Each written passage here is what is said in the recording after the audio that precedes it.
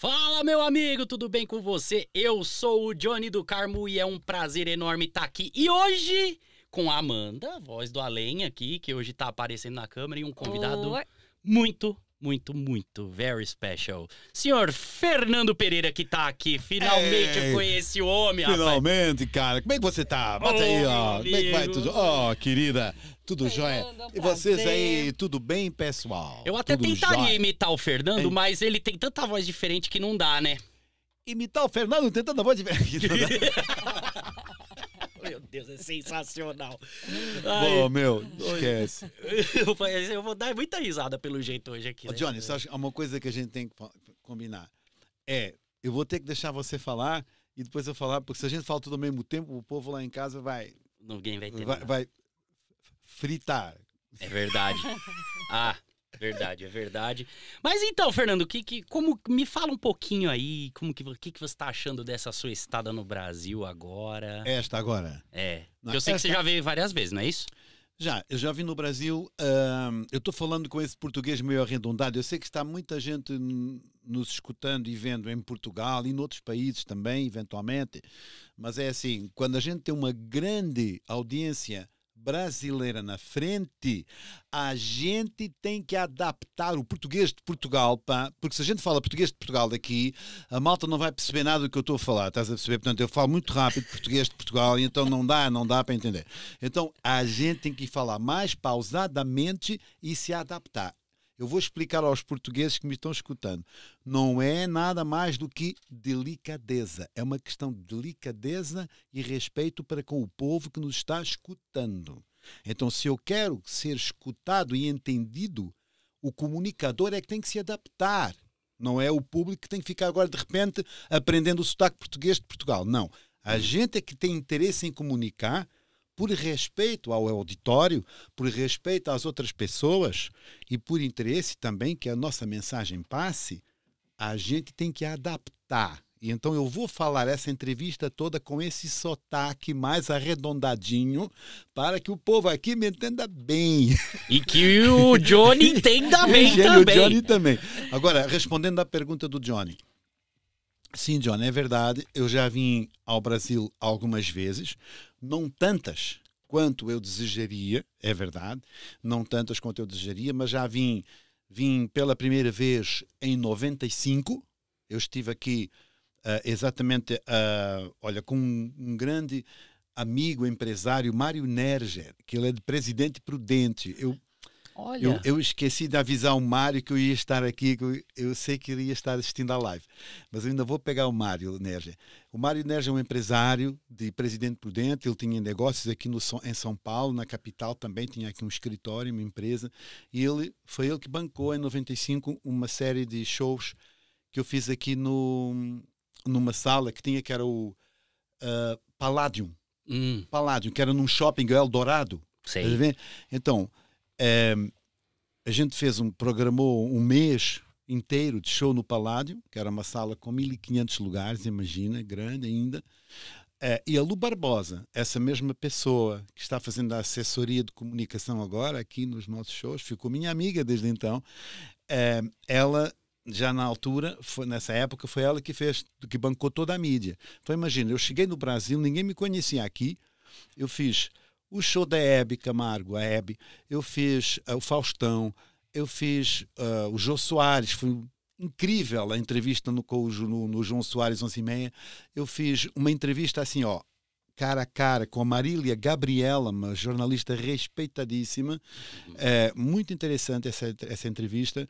Fiz, sei lá, programa com a Angélica, com muito com muitas pessoas. Eu, eh, eu tive o Silvio Santos indo assistir ao meu show na estreia. Foi me, foi, foi me cumprimentar no camarim, foi uma honra enorme. O Jair Rodrigues, ah, a Luciana Rodrigues, ahm, que agora dá tem o nome de Luciana Mello. Sim. Eh, e- enfim, muita gente foi, foi lá assistir ao show, foi um sucesso enorme. Então, o que aconteceu foi: ninguém me conhecia no Brasil, né, naquela época, e aí, depois desses programas TV, de rádio, não sei o quê, eu já não podia andar na rua, porque todo mundo.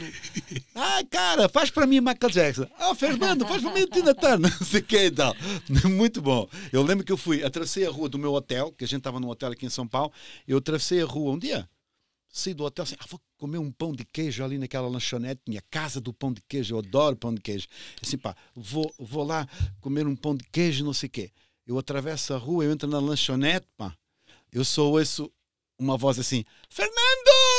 Ele! Faz para mim Michael Jackson! Todo mundo se agarrou. Então, daí tinha, não sei, 20 pessoas à minha volta se agarrando na roupa e tal. E assim, eu tentando agarrar todo mundo também, cumprimentar, enfim, no meio daquela confusão. A lanchonete ficou pequena para o povo que entrou lá. Aí o, o, o Mário, quando eu contei isso para ele, Fernando, acabou, cara. Você não vai mais cheio do hotel para ir em lanchonete. Você fala, vou arrumar uma pessoa para estar com você. Se precisa de alguma coisa, pede para ele. Ele vai conduzir seu carro, vai conduzir o carro, vai levar você. Porque não é, não é por mal, é que o povo aqui é muito é muito querido, é muito carinhoso, é muito assim de, de festa, de, de, de se entregando. É uma coisa que eu acho notável no, no povo brasileiro. É o brasileiro muito, é muito caloroso, é? Muito não é? caloroso, meu. É, é fantástico é. mesmo. É. Então, essa foi a primeira experiência que eu tive aqui no Brasil, foi muito legal. A gente conseguiu lotar as salas, aquilo era quarta, quinta, sexta e sábado, acho eu. A gente lotou o mês todo, foi super interessante. Depois eu vim aqui mais tarde fazer uns shows em São Salvador, Porto Alegre. Tive há uns anos em Porto Alegre cantando no Jockey Clube de Porto Alegre.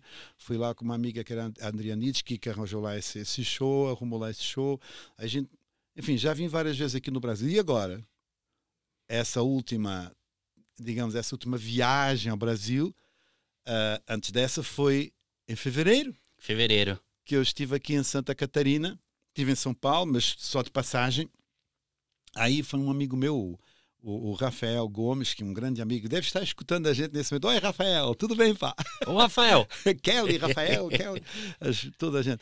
É, é um amigo, um grande amigo meu que, que tem negócios em Portugal e, e é meu amigo lá, de várias situações, e ele sempre estava falando, Fernando, pá, eu não acredito que você já foi no Brasil tanta vez e nunca foi a Santa Catarina. Esse, pá, realmente é uma falha grave na minha cultura geral. Não conhecer Santa Catarina. E ele é falava para mim que Santa Catarina é um estado diferente, é um, é um, aquela zona do sul do Brasil é muito diferente de São Paulo e do Rio e não sei o quê. Você tem que conhecer, porque é outro, é outra, outra, é outra forma de ver o Brasil, é outra forma de, é mais europeu e tal. E ele tanto insistiu que eu aceitei o convite dele, foi um convite super simpático, muito querido, de, de convidar para ir lá a Santa Catarina, conhecer Blumenau, Florianópolis, Balneário Camboriú, que foi fantástico. Joinville, então, você passou também por Joinville? Passei, não, não conheci, não? não fui na cidade, não, mas ainda vou. Ele, agora estive em Pomerode dessa vez. Sim. Então, então o, o Rafael arrumou essa esse, esse, essa, essa turnê de, mais de como é que eu ia te falar? Foi mais uma turnê turística né para conhecer. E aí nós fizemos um show também privado para família e amigos lá em Balneário Camboriú que foi um sucesso.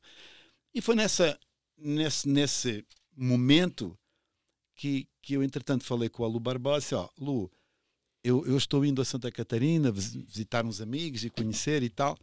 Se você tiver alguma coisa interessante para fazer na mídia aí no Brasil você me fala e então a gente se ajeita, né? Então ela, dois dias ou três depois, ligou: Olha, eu falei com o programa do Luciano Huck e eles querem muito você lá. Então você vai ter que arrumar um jeito de vir aqui a São Paulo para irmos ao Rio gravar o Luciano Huck e tal. E foi assim. Então eu, de repente, eu pensei: Ó, oh, se o pessoal está curtindo tanto o Fernando Pereira e eu já não vim aqui há tanto tempo, então vamos fazer uma coisa. Vamos programar uma série de shows, vamos programar esse retorno ao Brasil. Tem muita gente que já não se recorda do tempo que eu tive cá. Imagina, 95, alguns nem eram nascidos ainda. É, estão assistindo a gente, é, né? É, então, assim, então, é, então vamos, vamos lá então uh, ao Brasil, fazer aqui alguns shows e pronto. E agora o prometido é devido, como se costuma dizer, né? Quem promete tem que cumprir. Isso. Todo político devia saber isso, mas eu, eu sou artista, eu sei. O que promete tem que cumprir. Então, eu prometi que na segunda, no segundo semestre de 2022 viria de novo ao Brasil fazer show e aqui gente, estamos aqui, julho, é. o início é do segundo semestre. A gente já teve em Santa Catarina, já teve em Blumenau atuando em Balneário Camboriú, em shows mais ou menos privados e agora vamos estar, como vocês sabem, São Paulo. 29, 30, vamos estar no, no, no Teatro Liberdade 29, 30 e 31 e também, 31, né? Sim, é. Tem 31. 31 já, já virou, já está hum. já tem um processo mais de. Já, já não tem mais ingresso, já foi. Virou, já esgotou. Virou ali uma história qualquer privado, mas é, mas é mais ou menos isso. Agora, 29 e 30 tem muitos ingressos ainda, para sexta e sábado. E pronto, é o Lord of the Voices em Brasil. Né? Ai, é, com o Johnny do Carmo. do Carmo. Agora eu vou te falar que essa vontade que o pessoal. Você falou do, do povo brasileiro de pedir para você sair imitando, assim, né? Encontrar é na rua e pedir para você. A gente também tem essa vontade aqui, ah, tem. tem? tem. Ah, okay. Acho essa que o pessoal aqui tem. no chat também, ó, eu tô acompanhando o chat aqui do pessoal também, viu? É, a Amanda, a Amanda, ela que me ajuda nessa parte aí dos comentários. E você falou uma coisa interessante. Você falou primeiro, várias coisas interessantes, não uma, né? Várias. Mas você falou Presidente Prudente, que é onde é, o meu pai mora lá. O teu pai mora em Meu pai mora em Presidente Prudente. Pergunta... Meu pai é seu Orlando do Carmo. Ah, que engraçado. Pergunta a ele se conhece o Mário Nerger. Mário Nerger. Vou perguntar. É Nerger. É. Ele Vou tem perguntar. uma empresa que é Dispert. Dispert. Dispert. Dispert. Com tá. T mudo no final, Dispert. Ah, vou perguntar. Eu acho que ainda tem essa empresa, pode ser outra agora, não sei, mas eh, na altura, na época. Tá, é eu vou, vou perguntar para meu pai, que é Orlando do Carmo, que coincidentemente tem o mesmo sobrenome que eu. Né? Coincidência. É, uma coincidência Imagina, danada. Coisa, coisa estranha, como é que é possível? É. Alguém ter o mesmo nome que estranho, do, do Johnny. Né? É. O mesmo sobrenome, incrível. É. E o meu pai escolheu o Johnny porque ele achava que um dia eu ia fazer carreira internacional e que Johnny guitarra. era um nome. É, que, só que nisso eu falhei miseravelmente, rapaz. Eu tocando guitarra. Não toca? Eu arranho muito mal. É? Muito mal, muito mal. Mas olha, não, há uma coisa que eu te garanto. Não ouso falar que eu sei tocar guitarra. Johnny, há uma coisa que eu te posso garantir. Você toca muito melhor que eu. não, não pode ser. Eu não toco guitarra, meu. Não? Não, de todo. Eu única. Olha, eu tocava percussão. Quando eu, quando eu atuava nos bares em Lisboa, com, quando eu comecei cantando nos bares à noite em Lisboa, uh, tinha um amigo que tocava guitarra cantava, e eu cantava com ele, né? E aí às vezes eu levava uns bongós, umas congas e tal, cenas, e eu tocava um adufe. Sabe o que é um sei, adufe? Sei, é aquele quadradinho. É aquele quadrado assim, é tum, tum, tum, tum, sei. Tum, tum, tum, tum, tum, tum, né? É muito engraçado. Então eu tocava adufes, pecongas, mas eu não sou músico, eu sou um cantor. Minha cena é um entertainer, então a minha cena sempre foi cantar, imitar pessoas, cantores, fazer humor, dizer poesia, sei lá. Ai, desculpa, desculpa, ah, querido. Aí. Não, estou pedindo desculpa ao microfone, querido, é, desculpa. Tem que tratar bem, né? Tratar bem tratar ele. Bem ele. Mas não, nunca, nunca, nunca se me preocupei em me especializar naquilo que eu já fazia e queria fazer melhor, do que estar dispersando a minha energia, o meu tempo em coisas que que é muito interessante tocar um instrumento. Eu acho que é uhum. fundamental até para um músico, um cantor, saber tocar um instrumento, mas não aconteceu comigo, então já já peguei tarde. Então, um instrumento a gente tem que começar a tocar quando tem 10, 12 anos, 7 anos. 10, é querer aprender, aprender depois de uma é. certa idade é, mais difícil, né? É, é, não, não, então, não, tem. Eu tô tem apanhando jeito. pra caramba porque eu tô querendo aprender a tocar piano e tô apanhando. É difícil, né? Depois de uma certa Sim. idade. Ah, mas é... é o que eu acho que o Fernando falou muito bem, assim, você também é um cantor, né? É, eu gosto, meu negócio mais é cantar também. É. Mas. É. Tá bom. tá bom, né? A gente é, dá um é. jeito, né? Gente... Eu pego o baixo de vez em quando. No baixo eu sou um pouco menos pior do que na guitarra. O baixo, eu, o baixo um menos pior. menos pior no baixo. Mas eu, eu, tento, eu tento dar aquela arranhada, eu ainda insisto. Eu tenho uma guitarra lá em casa, tem violão, tem tudo mais. Pra aprender a tocar, falar que eu toco mesmo, eu não tenho coragem de falar que eu toco. Não dá. Mas olha, você faz um trabalho muito importante, Johnny. Você está fazendo um blog, um programa, um podcast, um, é um live, o que é que você chama isso, não sei já que nome é que dá. É um show que você faz, né, em que você vai à procura da música. É. Não só da música boa que tem no Brasil, mas a música boa que tem em Portugal, que tem em França, que tem em outros países. Argentina, sei lá. Então, você faz um, um, trabalho que é muito importante, que é um é. trabalho de pesquisa.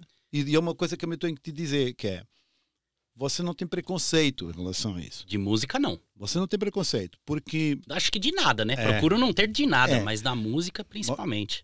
Mas você sabe que nesse meio tem muita gente com preconceito, especialmente na mídia, tem gente com preconceito. Se, se você toca música mais popular e tal, então o pessoal que se considera mais erudito já acha, ah, não, não vou lá e tal. Então o uhum. pessoal, há aqui um, uma ideia que hum, às vezes uma visão muito elitista uhum. não é, das coisas. Tem é, toda a razão. E elitismo e bom gosto são coisas totalmente diferentes ter cultura musical e bom gosto musical não é necessariamente ser elitista. Ok? Uhum. É verdade. Você tem que entender o contexto. Ninguém vai escutar Brahms ou Mozart ou Rachmaninoff para uma churrascada. Uh -uh. Não é? Mas possivelmente também ninguém vai ouvir, sei lá, uh, samba ou seja o que for, o rock and roll, se quiser ficar à noite descansando, curtindo. Também não, não, não, não funciona, né? Não. Então, cada música cada género musical tem também o seu contexto. Tem o seu ambiente. Digamos que, Johnny, não sei se você concorda comigo, mas a música é a trilha sonora das nossas vidas. E a nossa vida, as nossas vidas são feitas de muitas circunstâncias. Tem circunstâncias que você se sente mais romântico, outras que se sente mais introspectivo, não é? outras que você quer simplesmente pular e dançar. Uh, então, dependendo daquilo que é o seu estado de espírito, o seu estado de humor, daquilo que você quer naquele momento específico fazer com a sua vida, aí a trilha muda. É. A trilha sonora muda. Então, toda a música tem interesse. E só há uma diferença na música. Ela não é popular, ela não é erudita, ela não é de antes, da antiga, é muito antiga ou moderna. Só existem dois tipos de música: a boa e a má. Uhum. Dependente, é independentemente do contexto. Eu concordo. É? Eu concordo. É, e, e, é interessante isso, porque eu vejo muita gente, dependendo do, do vídeo que eu coloco no canal, muita gente fala muito bem ou fala muito mal. Tem, tem casos assim daquele cara que tá, ele vem todo vídeo, ele comenta tal. Você coloca um artista, por exemplo, um Fausto. O cara adora, né? Um, um Paulo de Carvalho, o Fernando Pereira, Por exemplo, eles sim. gostam muito. Aí, se você coloca um outro artista que não é do gosto dele, alguém que faz um tipo de música mais popular, pra você falar, nunca mais eu assisto vídeo seu e não sei o que, sabe? Acontece. Ah. Aí, é, é, eu, eu, percebo isso. Tem muita gente que prefere, ah, se você não, se você colocou esse artista, o canal é, caiu o nível. Eu falo, meu Deus, é só um artista que é... tá ali também trabalhando, né? É, é não tá fazendo mal para ninguém, ele faz uma música, eu coloquei no meu canal e pus. Aí o pessoal fala um monte de coisa. Tudo bem, e você tem que faz respeitar, parte. faz parte, tem que respeitar as opiniões de todo mundo. Agora, a nossa obrigação, pelo menos eu, eu acho, a minha obrigação enquanto ser humano consciente que eu acho que sou consciente, é, e enquanto artista e performer que alcance muitas pessoas, tenho influência sobre milhões, milhares de pessoas, eu tenho uma responsabilidade que é tentar criar pontes, harmonia, de alguma forma também uh, levar as pessoas a entenderem-se, a se entenderem, a serem mais amigos, mais fraternos, uh, viverem a vida de uma forma mais descomplexada, descompre despreconceituosa. Sim. Né? Porque tem muito complexo, muito preconceito, muita. Uh, muita inveja também, é tudo isso é muito estranho. Então, é. mas repara, o mundo está se radicalizando, não é só no gosto, em tudo, na política, vê, por exemplo, aqui no Brasil tem petista é. e bolsonarista, e parece que não existe mais nada no meio, mas existe. Existe. Não é? Tem pessoas que defendem Bolsonaro até o fim, outras que defendem Às o vezes Lula. parece futebol, né? Não, não, é. não eu, eu entendo, eu entendo, eu compreendo a paixão que cada pessoa tem pelas suas referências políticas ou filosóficas ou, ou desportivas, eu entendo. Então, as pessoas que amam, que gostam, que acreditam muito naquele projeto, defendem, mas atacam os outros de uma forma horrível. Os outros é a mesma coisa, defendem, atacam.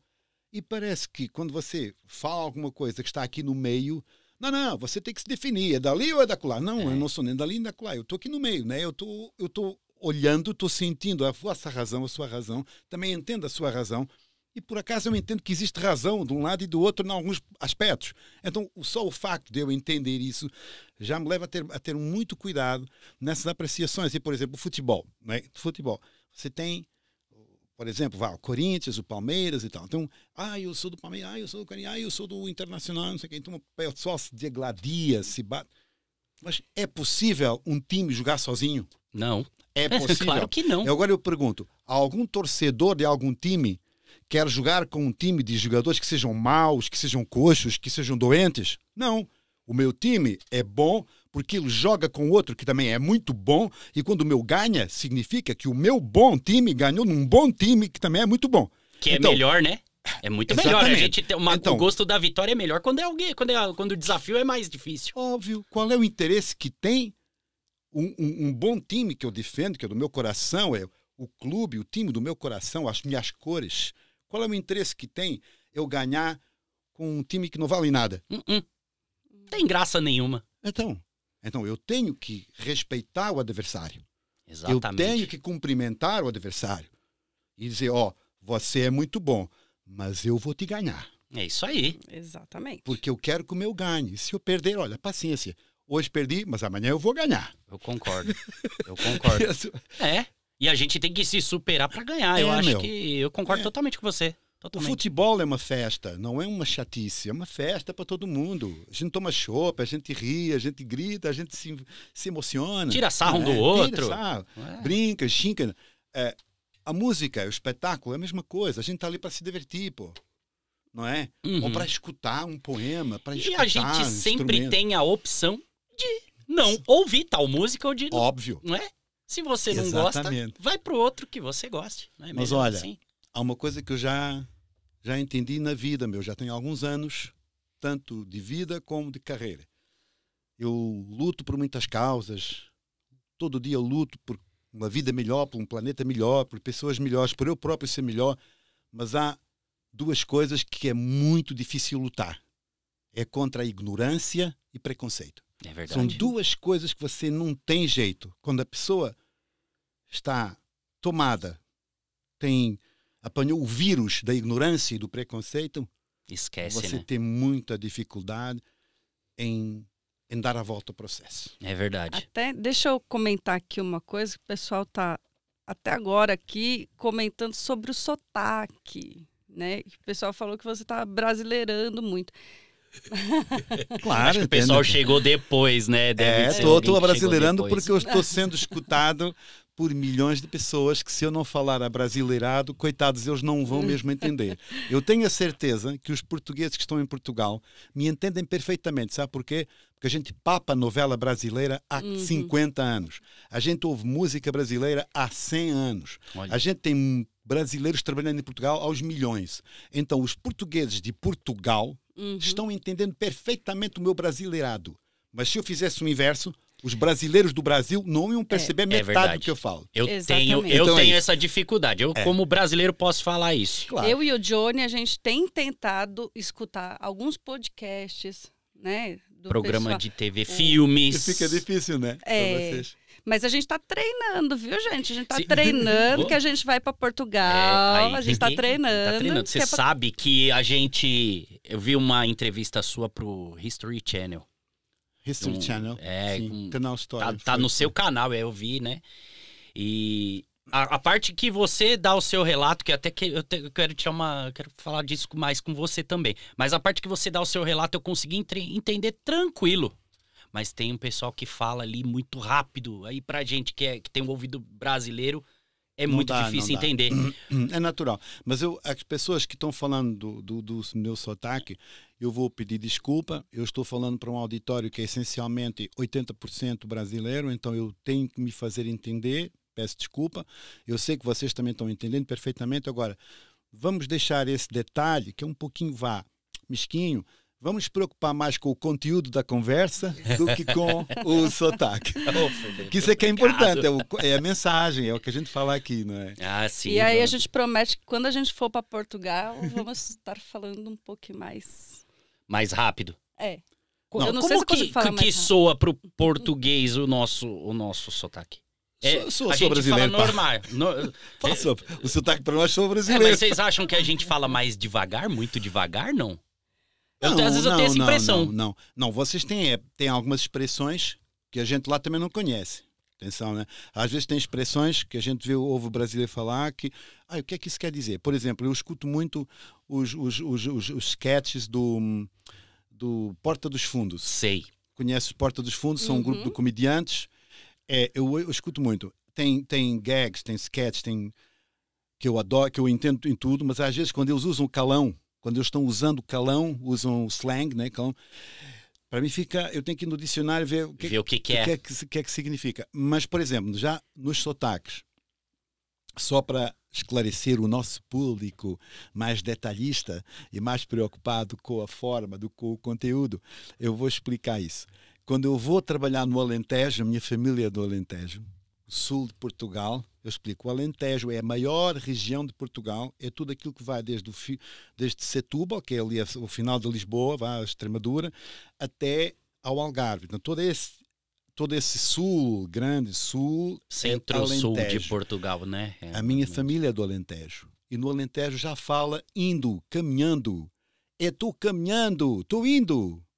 Enquanto que assim em Lisboa diz: estou a ir, pá, já estou mesmo a sair. Olha, estou mesmo a sair de casa, já vou o alentejano diz: Já estou saindo, pá, já estou saindo, vou ter contigo. Tô... Portanto, o, o alentejano já usa o gerúndio do verbo, muito como os brasileiros fazem, hum. entendeu?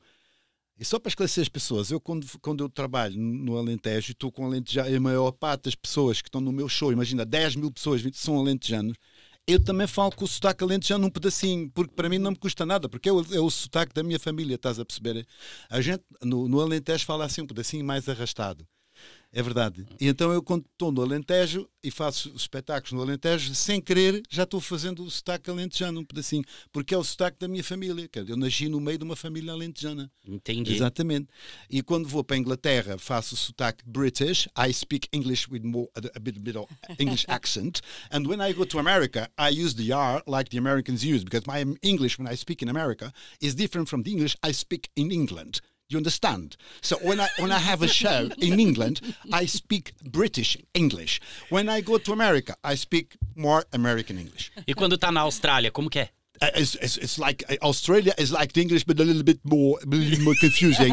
but I, I, guess they understand when I speak British English. They understand what I'm talking about. Eu vou ter que apertar o zap. It's not a problem.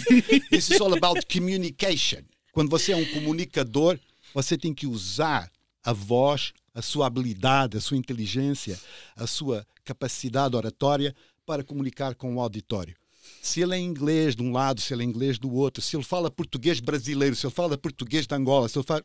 Você, você que é o comunicador é que tem que se adaptar para cumprir o seu objetivo, para respeitar o povo que está na sua frente. Você tem que se fazer é entender, né? É exatamente é isso, isso. É por isso que é mil vozes, né? É, é mil vezes mil, Mas porque tem os é. sotaques ainda por trás. Eu acho que passa de mil, né, Fernando? Já passa de mil já, né? Que? Mil vozes. Não, não é. Não, já não tem, passou não tem a ver. Mil. Não tem a ver com o número, né? Às vezes, olha, muita gente que me pergunta e, e Fernando, quantas vozes é que você faz, né? É uma pergunta normal, uhum. muita gente faz. Qual é? Quantas vozes é que você faz? Eu digo, ó, eu vou explicar para você. Eu não tenho o número de vozes que eu faço. Eu faço é, muitos sons com a minha voz. Então é, é um processo quase inesgotável. Ou seja, vocês estão a ver, olha, lá em Portugal a gente chama plasticina. Plasticina é, uma, é um material que vocês aqui chamam de massinha. Ah, tá. Entendeu? Pronto. Só para vocês aí em Portugal saberem o que é que quer dizer, plasticina no Brasil é massinha. É, a massinha. gente chama massinha de massinha. modelar. Massinha de modelar. É. Então, minha, o meu aparelho vocal é mais ou menos como uma massinha de modelar, como plasticina. Né? A, gente, a gente tem, um, tem o material, faz uma figura, volta ao normal. Faz outra figura, volta ao normal. Faz outra figura, volta ao normal. Uhum. Vocês fa você faz com a massinha, com a plasticina, tantas figuras quanto a sua imaginação lhe permitir, certo?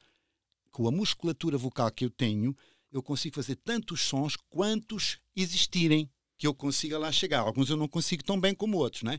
Mas eu consigo recordar, fazer a voz, o som das vozes dos que já morreram, eu consigo fazer o som das vozes dos que estão vivendo agora e ainda vou conseguir fazer o som das vozes daqueles artistas que estão para nascer E quando forem famosos, eu também vou imitar. Olha só que legal. Gente, eu quero pedir para vocês deixarem o like aí. Não se esqueçam de deixar o like aqui na, na nossa live com o Fernando Pereira. Se inscrever no canal também. Porque, tá vendo? Olha, olha, olha a qualidade da, da, da live, cara. Olha, olha, a qualidade do convidado. Tô pensando é. o quê? É, que, que Johnny do Carmo não tá fraco, não. O que, que, que deu nele? Agora, Fernando, você falou para mim que a sua família é do Alentejo, certo? Exatamente. E o cante alentejano tem alguma influência Meu. na sua formação artística? Meu, tem tudo. Tem? Tudo, tudo. Um, a minha família, meu pai e minha mãe, a Zulmira e o José, eles vieram de Mértola. Uma, é uma, Mértola é uma, uma vila que tem no distrito de Beja, no sul, Alentejo, na zona sul do Alentejo, já quase chegando ao Algarve, pelo Rio Guadiana.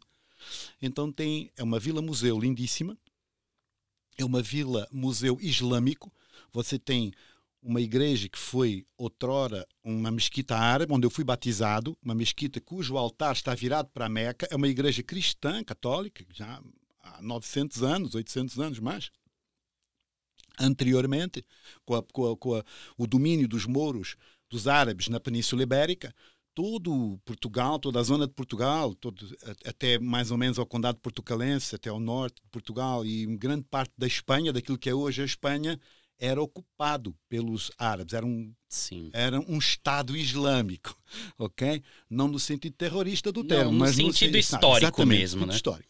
Então, um, muita gente também não sabe. A Espanha, como a gente a conhece hoje, eram sete di reinos diferentes, eram sete países Era. diferentes: Leão, Castelo, Aragão, por aí fora.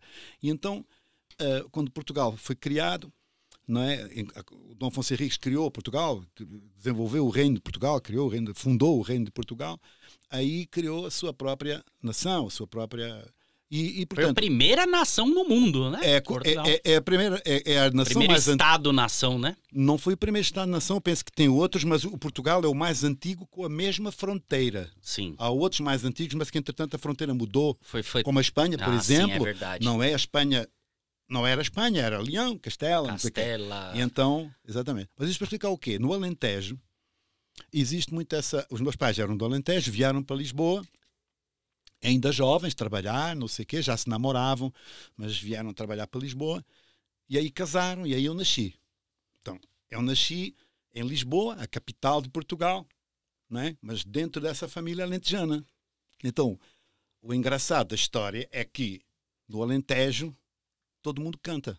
E todo mundo canta em coral, afinado, que é o tal cante alentejano que tu estavas aí uhum. a, a, falar. Que é lindo, então, né? O que, que é o canto coisa alentejano? maravilhosa. Para os milhares de brasileiros que não conhecem o canto alentejano e nos estão escutando, é assim mais ou menos como o gospel americano, só que em português e com outro estilo. não é? Mas é um canto do trabalho, é um canto do, que nasceu no campo, é um canto que nasceu no campo, no trabalho dos homens do campo. Alentejo, és nossa terra Ai, quem nos dera lá estarmos agora. E todo mundo cantando em cor, mas afinado, um fazendo a terceira voz, outro fazendo a quinta, entendeu? É um, há um que faz o ponto, outro faz o alto, que eles chamam ponto e alto, mas aquilo é a quinta, é a sétima. São, uhum. No fundo, é uma harmonia, fazer harmonias vocais. Então eu nasci no meio disso. Quando tu me perguntas que influência é que isso teve na minha vida? Teve toda, meu. Total, então, né? Imagina, eu, eu nasço no meio do, no seio do, da minha família, né? Meu pai, minha mãe, meus tios, meus primos, todo mundo cantando. Amigos, vizinhos, todo mundo cantando. Afinado.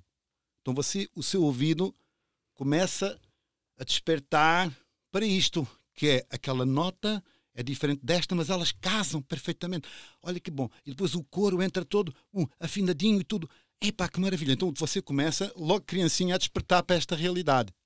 Depois, o meu pai, alentejano, amante da música, melómano, homem, o meu pai trabalhava na rádio.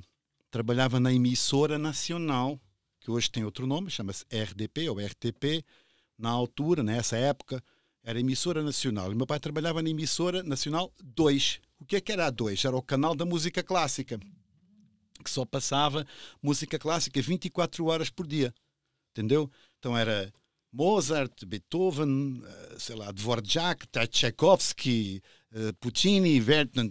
E eu lembro-me, eh, em minha casa, meu pai tinha muitos discos de música clássica, sempre, a toda hora. Às vezes me levava lá para a rádio, quando eu era pequenino, criancinha, brincando com os meus carrinhos e tal. E, e levava lá para a rádio, então eu estava lá escutando sempre aquela música. Então, a música clássica e o canto alentejano foram a minha primeira, uh, digamos, o, a minha primeira praia musical. Não sei Sua se primeira influência. É o, o, meu primeiro contacto tá. com a música, ah, tá. não é? Enquanto Conta. bebê, criança, bebezinho ainda, foi o canto alentejano e a música clássica. Minha mãe também cantava muito bem, mais música ligeira, fado e tal. Então também pegava a minha mãe cantando, era super bacana mesmo. Aí, quando eu comecei a ser mais adolescente, portanto 12, 13, 14 anos, o rock and roll entrou na minha vida. Não o rock and roll de, de Elvis Presley, mas o rock tipo Led Zeppelin. Mais né? pesado já, né? Pesado já, foi, estamos falando anos 70. Deep Purple. Deep Purple, Led Zeppelin, uh, Black Sabbath, uh, Grand Funk Railroad, Ten Years After, uh, sei lá, Peter Frampton, Alvin Lee. Uh, The Who, não. The Who? Terror, não, não, esse não, não, não, não recordo tanto. Não. Mas tinha muita, Nazareth tinha muitas hum, bandas, muitas bandas. Então, uh, a minha cultura musical também foi evoluindo dentro dessa, dessa lógica do rock, né? Aí, eu devo confessar, Pink Floyd, Genesis, uh, Peter Gabriel, quer dizer, foram sempre as minhas bandas de culto, né? Vandergraaf Generator, Gentle Giant. Uh, portanto, eu peguei todo esse, todo esse material foi formando a minha personalidade musical, mas sem perder toda a outra formação da clássica, do, formação não, influência é. da clássica. Isso nunca do, abandona a gente, né? Nunca abandona. Então eu cresci no meio desse, desse meio. E a coisa, o que é engraçado, pá, é que portanto, eu tinha na altura, imagina, nessa época, 15 anos, 14, é, e imagina, ah, vamos fazer uma banda, uma banda para tocar cover. Boa! tu toca baixo, aquele toca guitarra, o toca bateria. Quem vai cantar? O, o Fernando. O Fernando canta, ok. Então vamos embora. Hey, hey, mama said the way you move, gonna make you sweat, gonna make you groove. Puxa, o cara canta igual. E agora vamos, agora vamos tocar, vamos fazer Deep Purple. Bam, bam. Smoke on the water. É, o cara canta igual. Então, sempre que havia uma banda, alguém que formava uma banda de cover, todo mundo queria o Fernando para vocalista, né? Ah, é só. Porque eu, ficava parecidíssimo. Meu, eu, costumo, eu, eu, costumo, eu costumo dizer isto que é todo mundo queria o Fernando para vocalista, mas ninguém queria o Fernando para jogar futebol, porque eu era muito mau a jogar futebol. Então era, tinha esses dois lados, não é? Quando era para a música, Fernando, anda cá. Quando era para jogar futebol, vai embora, vai embora. Você sabe que eu estou me identificando com essa parte também, viu? Muito Aliás, bom. a gente tem umas coisas em comum. Você sabia que eu também estudei engenharia e não terminei. Ah, pois assim tu falou para mim outro tu... dia. Pois é, você... Foi. Você estudou engenharia? Estudei também. um pouquinho de engenharia, não vi, vi que aquilo não era para mim e fui para história. Olha, tudo a ver, né? Imagina. Eu também andei me engenhando, engenhando, engenhando, que era engenharia mecanotécnica, no meu caso, no teu também era? O meu era eletrônica. Eletrônica. Pronto, eu tinha essas duas opções, mas eu, eu estudava mecanotecnia e pronto, comecei a estudar engenharia mecanotécnica, mas eu não foi muito tempo não, porque aí apareceu a oportunidade de começar a cantar nos bares e, e tal, surgiu essa chance de cantar nos bares e começar a entrar no mundo da música. E, e a vida, que... a vida noturna do bar, de cantar no bar, ela é mágica, né? Quem é. tem aquele bichinho quando toca na gente ali, né? É, é gostoso, é... rapaz. Subir num palco é bom demais, né? É mágico, é super divertido e nós não temos ainda uma grande responsabilidade. Então, porque cantar no bar é muito descontraído, né? Uhum. Você está cantando num bar, você quer, oh, Manel, oh, tudo bem, Manel? Oh, tô... é, opa, já foi, oh, sai uma cerveja, tá, manda aí um chopp e tal, não é? Você está num palco, num teatro, ou um show ao vivo, grande, assim, um outdoor, ao ar livre, né? Para milhares de pessoas, com uma produção, você não pode já não pode abandalhar a cena, tem que fazer aquilo direitinho, né? tem uma responsabilidade grande. Quando está no bar, aquilo é, é ok, né? bora lá, é, agora que... vou parar um pouquinho para tomar um chopp, já venho aqui cantar mais uma e tal. Exatamente, é, é, dos, é, não, nos seus espetáculos agora já é uma coisa mais agora não, profissional mesmo, ser, né? não, tem, claro, não tem como jeito. comparar, né? Mas... Fernando, Oi, é, só um minutinho. O Quintino mandou uma pergunta aqui que eu achei interessante, né? É, ele perguntou assim: se você tem algum cantor ou cantora que você não conseguiu chegar assim. Né? Ah, e essa pergunta é da Ana também, a Ana da Portugalidades. É, é muito interessante, essa pergunta é muito interessante, porque ela é. Um, é bem, é bem, é bem, é bem, é bem real, estruturada, é, é, é muito interessante. Porque assim, quando você procura enganar as pessoas fazendo o som de uma voz, que isto é magia, estamos a falar de magia, não é? O meu trabalho, quando eu faço as imitações, mas vamos um pouco para trás. O meu trabalho começa porque eu sou um artista multidisciplinar, que significa o quê? O pessoal, quando vai no meu show, vai ver o Fernando Pereira cantar eh, o seu som, vou cantar o Nessun Dorma de Puccini, eu canto fado português de Alan Ullman, eu canto, sei lá, eu canto com o meu estilo, com o meu arranjo. O pessoal pode crer que vai pegar o Fernando Pereira cantando de cantor. Vai pegar o Fernando Pereira dizendo poesia. Hum. Depois vai pegar o Fernando Pereira fazendo piada. Hum. Depois vai fazer ver o Fernando Pereira fazer imitação de vozes. OK? De todos os cantores do mundo tal. Então, esse processo é assim, eu escolho para o meu show aquelas vozes que eu acho que faço melhor. Porque o problema, a questão é essa. Uma voz tem qualquer voz, não é? Tem o timbre, tem a tonalidade, um tema musical, por exemplo, Michael Jackson tem o timbre Billie Jean is not my lover, né? né? Tem, tem, o, tem o timbre dele, tem a tonalidade em que ele canta, um si bemol, um dó, um ré, não interessa. Portanto, eu quando faço a imitação de uma voz num determinado tema, eu canto naquela tonalidade. Eu não baixo o tom para ficar mais fácil para mim, não. Eu faço na tonalidade original. Primeiro. É se ele canta em dó, é dó. Não, tem que ser, porque senão, senão não é uma imitação. Então você está fazendo é. a sua versão, é diferente. Uhum. Se, eu faço, se eu faço a minha versão de uma música, eu canto no tom que é mais confortável para o meu estilo. Sim. Uhum. Não é? Agora, se eu vou fazer a imitação daquela pessoa, eu tenho que fazer na tonalidade que a pessoa realmente canta, com o estilo dela. Mas tem outra coisa, tem o timbre.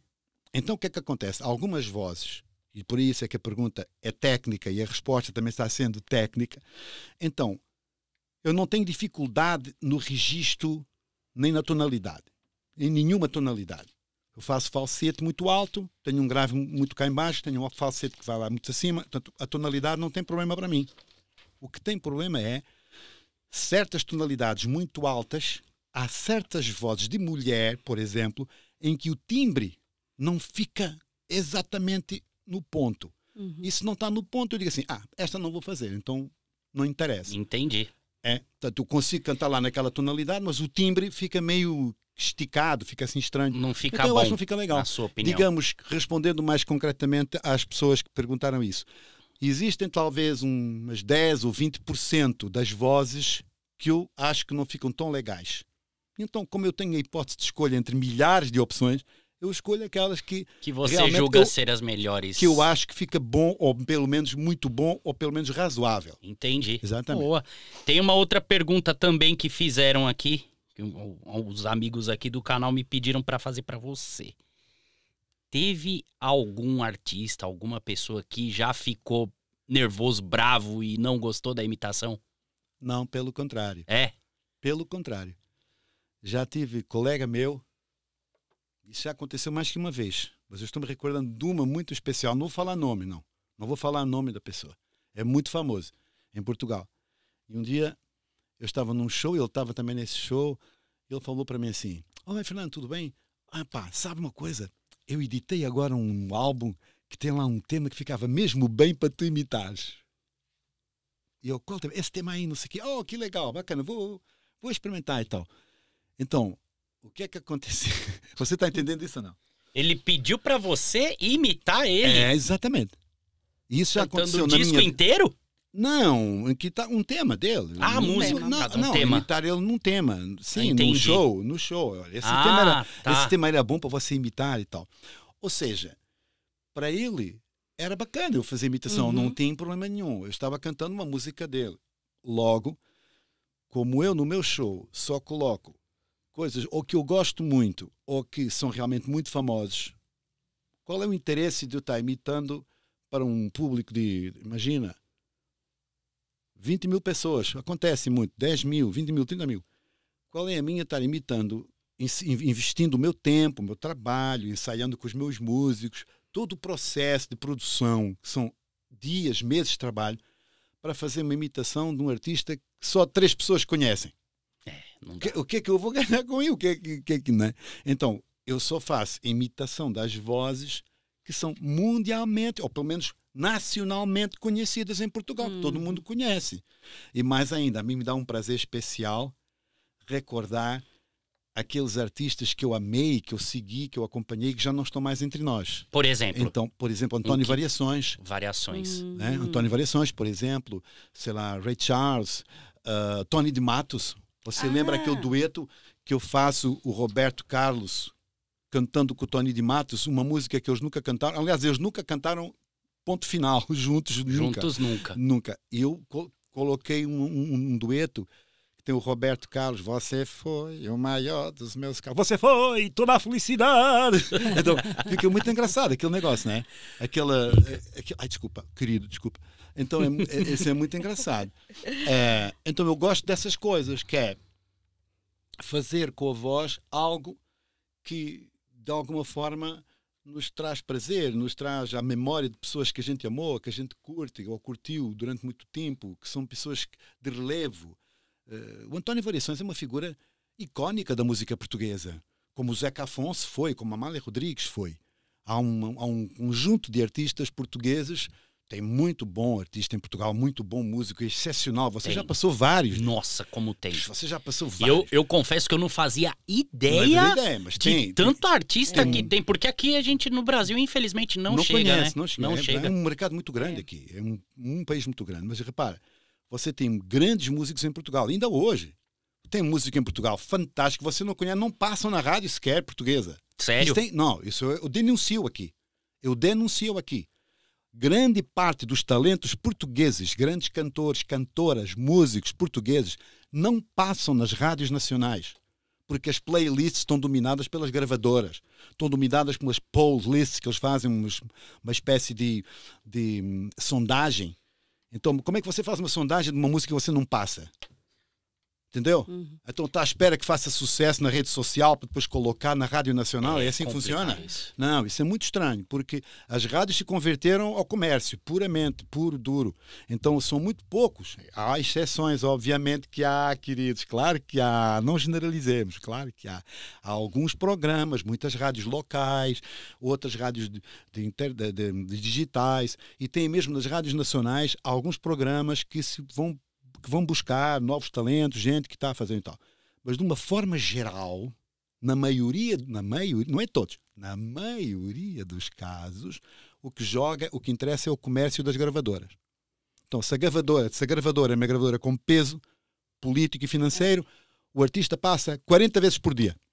Até você comer ele ao pequeno almoço, você tem que engolir o artista. Uhum, E aí é óbvio que todo mundo conhece, todo mundo compra, todo mundo você compra É. aquilo que você escuta, né? Então o exatamente. processo é nasceu primeiro o ovo ou a galinha?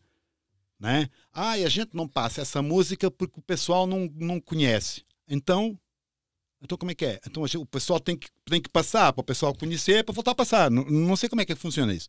Mas esse é um problema. Você É. tem muita música boa em Portugal, muito artista Tem, viu? que não tem Agora saído. Ah, mas, tá- mas, mas- mas a questão, desculpa, a questão era, era diferente. Estamos a falar que tu estavas a falar que tem muito artista português Muito artista. É, eu- quando eu comecei com as reações, que a minha primeira reação de música portuguesa, se eu não tô enganado, foi uma da Marisa. É possível, grande, grande, Marisa. grande, grande artista. Sim. E e aqui no Brasil, ela é uma ilustre desconhecida. Todas as pessoas que eu perguntei se já conhecem Marisa, não conheço. Carminho, não precisa, né? Carminho, ninguém aqui conhecia. Uh, Dulce é- Pontes é, é é por causa da que ela tinha uma música numa novela. Canção do Mar. Canção do Mar. E, não, e passou Mas filme. é a única música. É, tem um filme também que um tem essa filme, música com não Richard Gere, acho. Com o Richard Gere, que tem lá o Canção do Mar. Isso. Mas Essa só. música tem 30 anos, meu. Então, e Exatamente. desde de lá pra cá, o- É. uma- um pessoal mais antigo conhece a Malha. Mas olha, mas o Mas é inverso, o inverso, uh, Johnny, o inverso também acontece. Você em Portugal tem muita música brasileira uh, que é conhecida e muita que não é. Eu, É. eu, cheguei, eu cheguei aqui no Brasil, falam de, de- da banda tal, do grupo tal, sertanejo tal. Música sertaneja em Portugal, zero. Ai, sério? Ah, tu... Meu, Ai, vamos ok. pra lá. Não, não, não, não, é- disfarçada não, não, não, é zero, não é, não é zero, desculpa, não é zero. Tem alguns artistas que são conhecidos em Portugal, porque como tem muito brasileiro vivendo em Portugal também, acabam por divulgar e por passar a coisa e tal. Então, por exemplo, Paula Fernandes, o pessoal conhece Paula Ah, tá. Fernandes, tem alguns que Mas é que hoje tem tanta dupla sertaneja que eu mesmo fico perdido. Se eu começar a ver, eu não, não, vou não, não chega, exatamente. Não, é muita gente. Mas também não se preocupa não, porque o Brasil tem 240 milhões de pessoas então certamente tem 10 vezes mais a população inteira de Portugal curtindo o sertanejo. Não se preocupa com Portugal não, que para o sertanejo não interessa nada, porque são 10 milhões de, de, de clientes e aqui são 240 milhões de clientes. E possivelmente desses 240 milhões de clientes que tem no Brasil, se calhar uns 150 gosta de música sertaneja. Estou errado? Não, ou não? acho que não. Não estou, não. não. Pronto, então, qual é o problema de eu cantar música sertaneja se os meus clientes são 150 milhões potenciais? Certo. Por amor de Deus, né? É. Agora, agora, em Portugal é, é diferente. Agora, tem muita, tem muita música que não é conhecida lá no vossa, que não é conhecida em Portugal, mas também tem muita que tem. Alguma que faz culto, por exemplo. Eu acho tudo o MPB, por exemplo, bossa.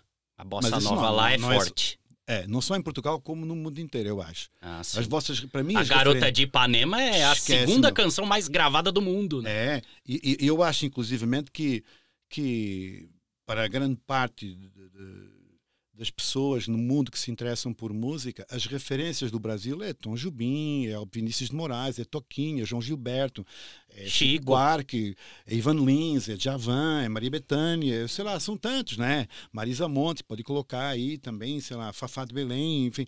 Tem muito artista que é conhecido em Portugal, que é famoso em Portugal, alguns deles no mundo inteiro, e que para mim essas são as grandes referências da Uhum. música brasileira, construída de raiz, com bons arranjos, com boas harmonias, com música, música tocada por músicos, não é por computadores, é por Uhum. músicos.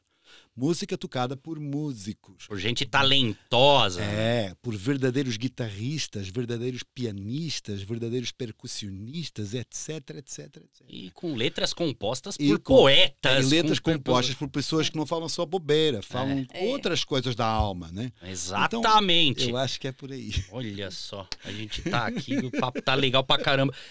A gente tem brasileiros aqui muito bons, né? Tem. Tem, Tem. tem, Só sim. que o- atualmente acho que o que está sendo mais conhecido não são esses. É, hoje acho que o Poetas. pessoal que viraliza no TikTok tá com mais. Mas mais isso é um, mas isso é um fenômeno social, não é um É. fenômeno musical. O problema da viralização é um problema social, cultural, meu, não, não é estritamente musical. Isso acontece eh, na literatura, acontece no teatro, acontece com, com a política, com Uhum. tudo, né?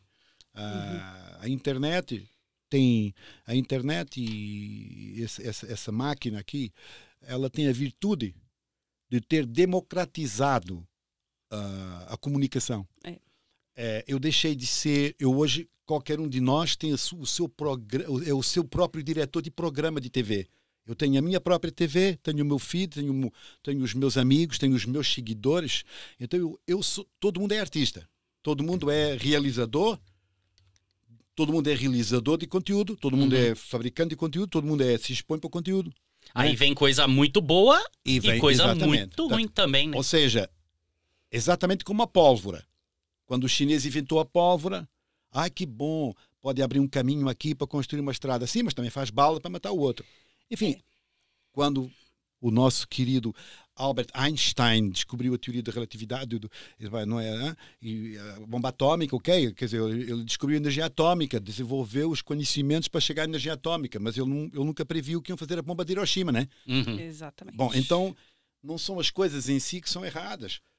É a utilização que Uhum. o homem, o homem, o homem no sentido humanidade, dá Usa. depois essas mesmas coisas. É, a gente Então, tem um é. aparelho que pode levar a gente a fazer uma faculdade sem você sair da sua casa. Né? Esse- Você pode aprender tudo. aqui Ah, eu não, eu não queria pôr o, o meu corpinho debaixo de um médico desses, não. Um médico desses de- da da internet abrindo minha barriga para. Não, Ah, não. não, não. distância é melhor, não. então. Eu É, esse tipo de médico, os não. que estudaram ali, sentadinho É, na cadeira. um, um engenheiro fazendo ponte com o curso É. tirado para eu passar lá com o meu carro por cima da ponte, um engen- engenheiro tirado do curso. Não, eu também não. Mas, mas, mas músico, sim. Músico dá, né? O músico pode não saber música, mas é. Se tiver um bom par de mamas, né? Ela, por exemplo. se for uma menina com um bom par de mamas, com, com uns amigos bons lá para seguir tal e tal, bom, aí a gente Ai, consegue, ai, mexe bem o bumbum, aí faz negócio. A música vai ser uma merda, mas ela vai vender certamente, né? Então, mas não é pela música. Eu lembrei de alguns exemplos aqui, mas eu prefiro não citá-los. fala, não fala. Não, não é fala, melhor não. não citá-los. Não. Não, mas tem, né? A gente sabe que tem. Não, não, sabe por quê, Johnny? Porque é deselegante. É, claro que é. Uma coisa é a gente formular a ideia, outra gente é estar atacando pessoas, porque a gente não tem que atacar ninguém. Não, Todo mundo tem direito a viver É. do jeito que entender. E isso foi uma coisa que eu também aprendi com a vida. É, Hum. Você não gosta, não ouve, não escuta. Exato. Exatamente. Não problema. Exato. Agora, se tem muita gente ouvindo, escutando, partilhando, comprando, então, o que é que você sozinho, você pode ter toda a razão do mundo, numa estética, Mas eu Você gosto tá- de pelo menos conhecer, viu? exatamente. Se tá todo mundo Exa- falando daquele artista, Eu daquela conhe- eu pessoa, eu, tam- quero saber. Eu também quero. Claro, eu quero conhecer, não quero ficar estúpido, né? Eu quero Claro. conhecer. É. Agora, na minha estética, para aquilo que é o meu desenvolvimento musical, aquilo que é a minha alma, o meu espírito, o meu conceito de vida, aquilo que eu aprendi com a vida, a minha evolução cultural, não me permite chegar lá. Eu não consigo gostar daquilo. Aliás, eu já falei isso várias vezes. E a gente nem é obrigado a gostar de tudo. Não, não, claro Ninguém que é. não. Não pode, é É. impossível. Agora, eu não critico. Se o pessoal, se a pessoa gosta daquilo, olha, paciência. O gosto não se discute, se lamenta. Uhum, é Pronto. verdade. O mau gosto não se discute, lamenta-se, né? É verdade. Então, E, Fernando, e como, que- como que a gente lida com essas críticas? Porque tem gente que não gosta da gente, né? claro, então tem que Como lidar, que a tem que gente entender. lida? Da- Normal. isso eu tô perguntando é por mim mesmo, viu? Eu tenho Não, uma mas eu também- dificuldade gigante de lidar com crítica, sabia? Ah, mas eu também tenho muitas pessoas não gostam de mim por, por isso, por aquilo, por outro, porque uma palavra que eu disse, em algum foi mal entendido, porque, sei lá, há pessoas que até gostam pra caramba e dizem que não gostam. Mas isso é outra, é outra história. É, né? É outra história. É, Isso tem a ver com a marca. Se, se você tem um. Se, se, se a pessoa tem a percepção que determinado, determinado artista ou produto é um produto de marca, ela mesmo não entendendo, ela diz que gosta. Porque acha que se eu disser aqui que gosto daquela fulano lá, como ele tem uma marca muito boa, eu vou ficando também sendo um cara importante, porque eu gosto daquilo. Eu não entendo o cara. Eu não entendo nada do que ele está cantando, não percebo nada de música dele, mas eu vou dizer que eu gosto, porque fica bem para mim, para os meus amigos, dizer Hum. que eu, eu sou daquela marca, entendeu? Marca Entendi. top. Então, para quem acha que determinado artista é marca, tudo bem. Mas eu acho que é melhor a gente seguir o conteúdo do que a marca. Eu a marca também não é acho. tão importante assim, Eu né? também acho. E, e, e pronto, tem isso. Agora, o, o- o- sinceramente, o que eu acho é que a gente tem que lidar com quem gosta da gente e com quem não gosta. Para mim, os o mais importante é os que gostam. Era só o que faltava eu deixar agora uma pessoa, duas, perturbar a minha alegria e a minha capacidade de me entregar a milhões de pessoas que gostam de mim, do meu trabalho, porque há dois ou três que acham que eu sou cafona, ou que eu sou velho, ou que eu sou. Estão me cagando para isso. Que bom. É, eu tenho procurado fazer isso, porque a gente recebe muita crítica, né? A internet Claro, às vezes é né? cruel, né? É. E é muito fácil criticar cobardemente escondido atrás de um perfil. É verdade. Não, porque eu já peguei pessoas que, que diziam coisa e tal. E aí, um dia a gente encontra na cara. Então, tudo bem? Ah, olá, tudo bom? Como é que está? Aí. Então, olha, eu vou contar uma história verdadeira. Sem falar nome, porque o que interessa é a história, não é o nome. Claro. Não estou aqui, mais uma vez, para pegarem ninguém, nem criticar ninguém. Por amor de Deus. Todo mundo pode ser feliz, que a Terra é redonda. Alguns não acham, acham que é plana, mas é realmente redonda. Então, é, então o que é que tem? Tem até isso, né? Tem, tem verdade. É interessante isso. Mas, é- mas repara, aqui há uns anos, há muitos anos, tinha um jornal muito famoso, um jornal que tratava de espetáculos em Portugal, chamava-se Sete, Jornal Sete. Era um jornal que nos anos 70, 80, 90, mais ou anos 80 e 90, era um periódico que saía só falando de música, cultura e tal. E tinha uma determinada pessoa, uma senhora jovem, que fazia uma coluna no Jornal 7, sempre fazendo crítica disto, crítica daquilo. E ela já tinha falado um montão de coisa mal de mim. Pronto, sem me conhecer, só pronto, a percepção que ela tinha minha era negativa. Então ela muitas vezes escreveu coisas más sobre a minha pessoa e sobre o meu trabalho. Mas eu, ela era jornalista, ela trabalhava nesse jornal, mas também escrevia para outras revistas. E eu, por acaso, eu até gostava de muitas coisas que ela escrevia. E, e, recordo que havia alguns textos, alguns artigos que ela escrevia para uma revista mais fina, mais chique e tal, que eu às vezes comprava e lia. E eu até me identificava muito com a escrita dela, uma pessoa muito inteligente, muito. Simplesmente ela não gostava de mim, mas pronto, que culpa que eu tinha que ela não gostasse de mim? Eu gostava dela. É. então, entendeu? Então, eu, gostava do que ela escrevia. E um dia, nós estamos num evento social, e eu estou com um grupo de pessoas, está o patrão da revista, essa tal revista importante, e ela entrou. E ela, quando me viu, assim, ah, Fernando, como está? Oh, querida, como está? Tudo bem? Sei que e tal. É, ah, pô, ela ficou assim meio desconfortável. E assim, não, esteja, esteja à vontade, não tem problema. Eu sei que você, às vezes, escreve umas coisas a meu respeito menos favoráveis. Pois sabe o que é também? Ela tentando explicar assim, não, mas olha, eu gosto muito do que você escreve, é verdade. Ah, sim, Sim, eu leio muitas coisas que você escreve. Olha, aquele artigo que você falou isso, tal, tal, tal. E eu escrevi um parágrafo inteiro de uma coisa que ela tinha escrito e que eu, por acaso, memorizei. E ela disse, não acredito. Você lê o que eu escrevo? Claro que eu leio, eu sei ler, eu leio desde os 5 anos. ah, que engraçado. Olha, eu vou, posso fazer uma pergunta para você? Com certeza. Eu estou criando agora uma nova equipe de pessoas para escrever os textos para o meu show. Eu tenho já o Mário Lindolfo, tem mais esse, tem mais aquilo, são pessoas muito prestigiadas. Eu gostava muito que você fizesse parte dessa equipe. Você se incomodaria de trabalhar para mim, escrever textos para mim, para o meu show? Fernando, mas isso é, é uma honra para mim. Claro que sim. Pagando? Claro, claro, exatamente, não tem problema, claro que sim. Essa pessoa passou a ser minha amiga. Nunca mais escreveu mal Nunca mais. Mas não foi, mas espera, mas ela não se vendeu, ela simplesmente compreendeu melhor o show. Ela uhum. tinha uma uhum. ideia errada. Espera aí, a pessoa quando dizia mal, não era só porque ela queria dizer mal, ela realmente não tinha entendido tinha, a essência. Ela tinha uma ideia errada de mim, ela não tinha a percepção do show, da forma como ele realmente era. Uhum. Quando eu trouxe ela para o meu seio de profissionais, e aí ela começou trabalhando com o meu diretor musical, com a minha produção, é, pá, com uma equipe de, de copywriters escrevendo os textos, as piadas para o show, etc. Aí ela entendeu.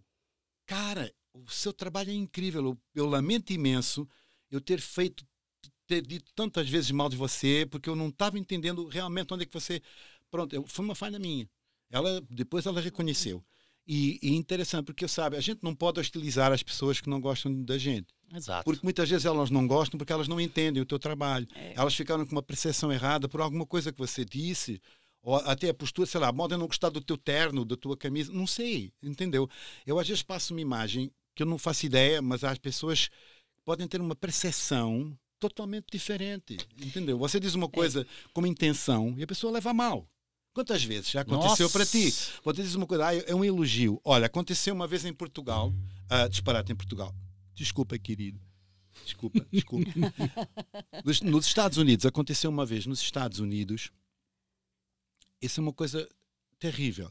Uma vez nos Estados Unidos, eu já estava trabalhando lá, fazendo show e tal, muito com a comunidade portuguesa também, porque a comunidade portuguesa nos Estados Unidos foi muito importante para mim, me apoiaram imenso desde o início. E depois, quando eu comecei a cantar nos cassinos americanos, para o Donald Trump, para aqui, para ali e tal, aí a coisa, Nova York, não sei o que, Las Vegas, e depois virou o jogo.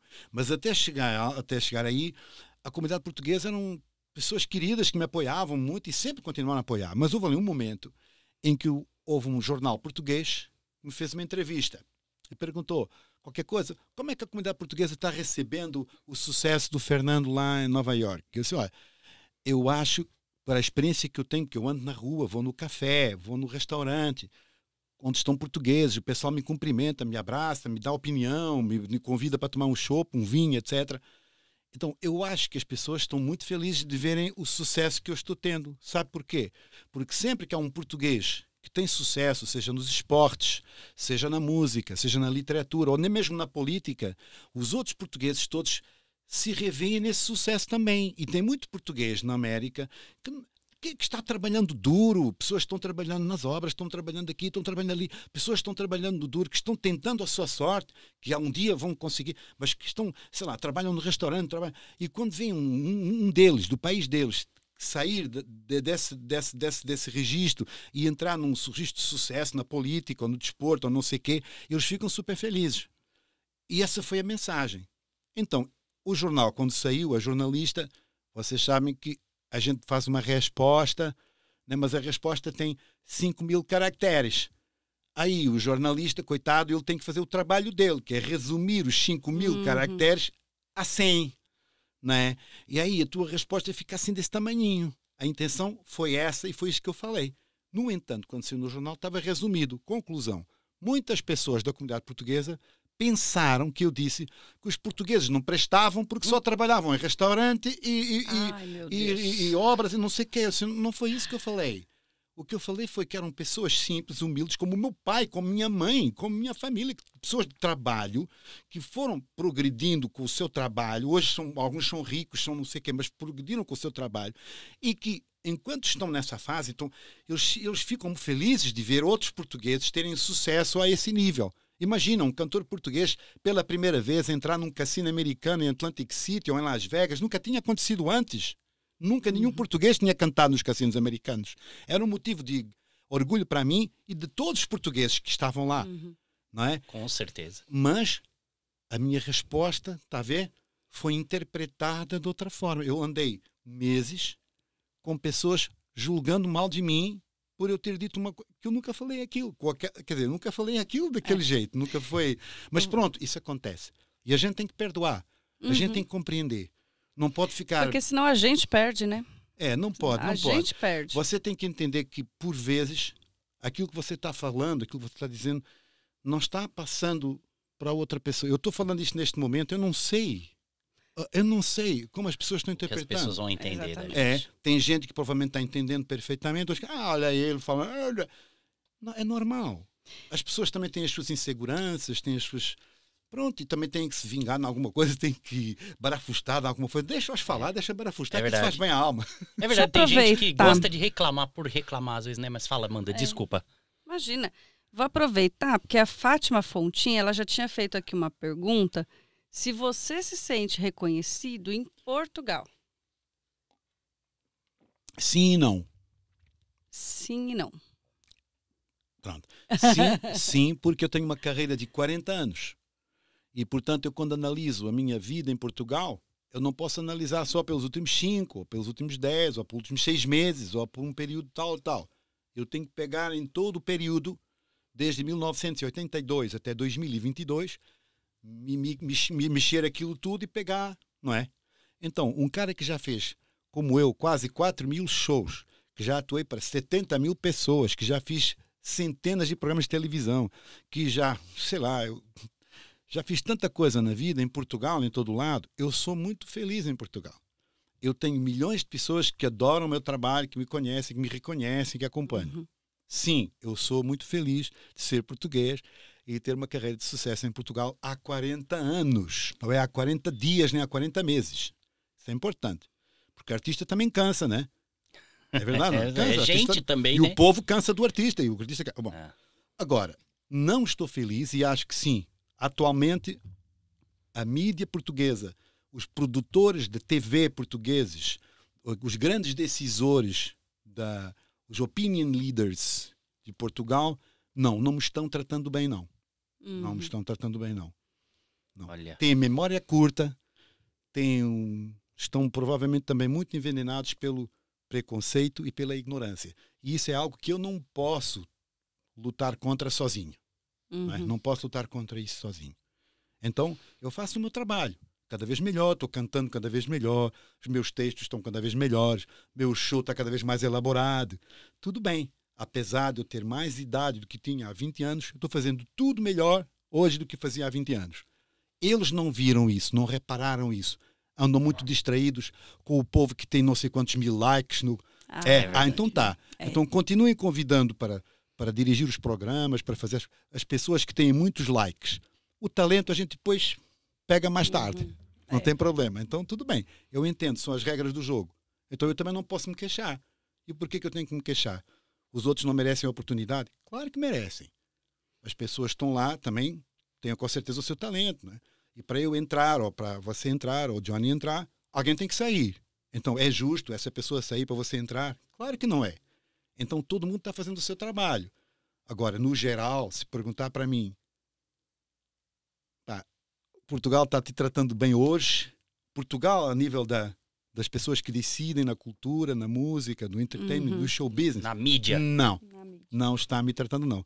O povo, o público, e quando digo povo, as pessoas de todas as classes sociais, mais alta, mais média, mais não sei o quê, tem muita gente que me segue, que gosta do meu show, que me contrata, que eu faço muito show privado para empresas, uhum. muito, para empresas, para festas, as mais diversas festas, sei lá, a gente faz até casamento de gente fina, a gente faz tudo, né? Agora, não tem problema, desde que haja condição, há um palco, há condição técnica, há um valor correto para pagar o meu trabalho, dos meus músicos, das minhas cantoras, etc. A gente vai e faz o show.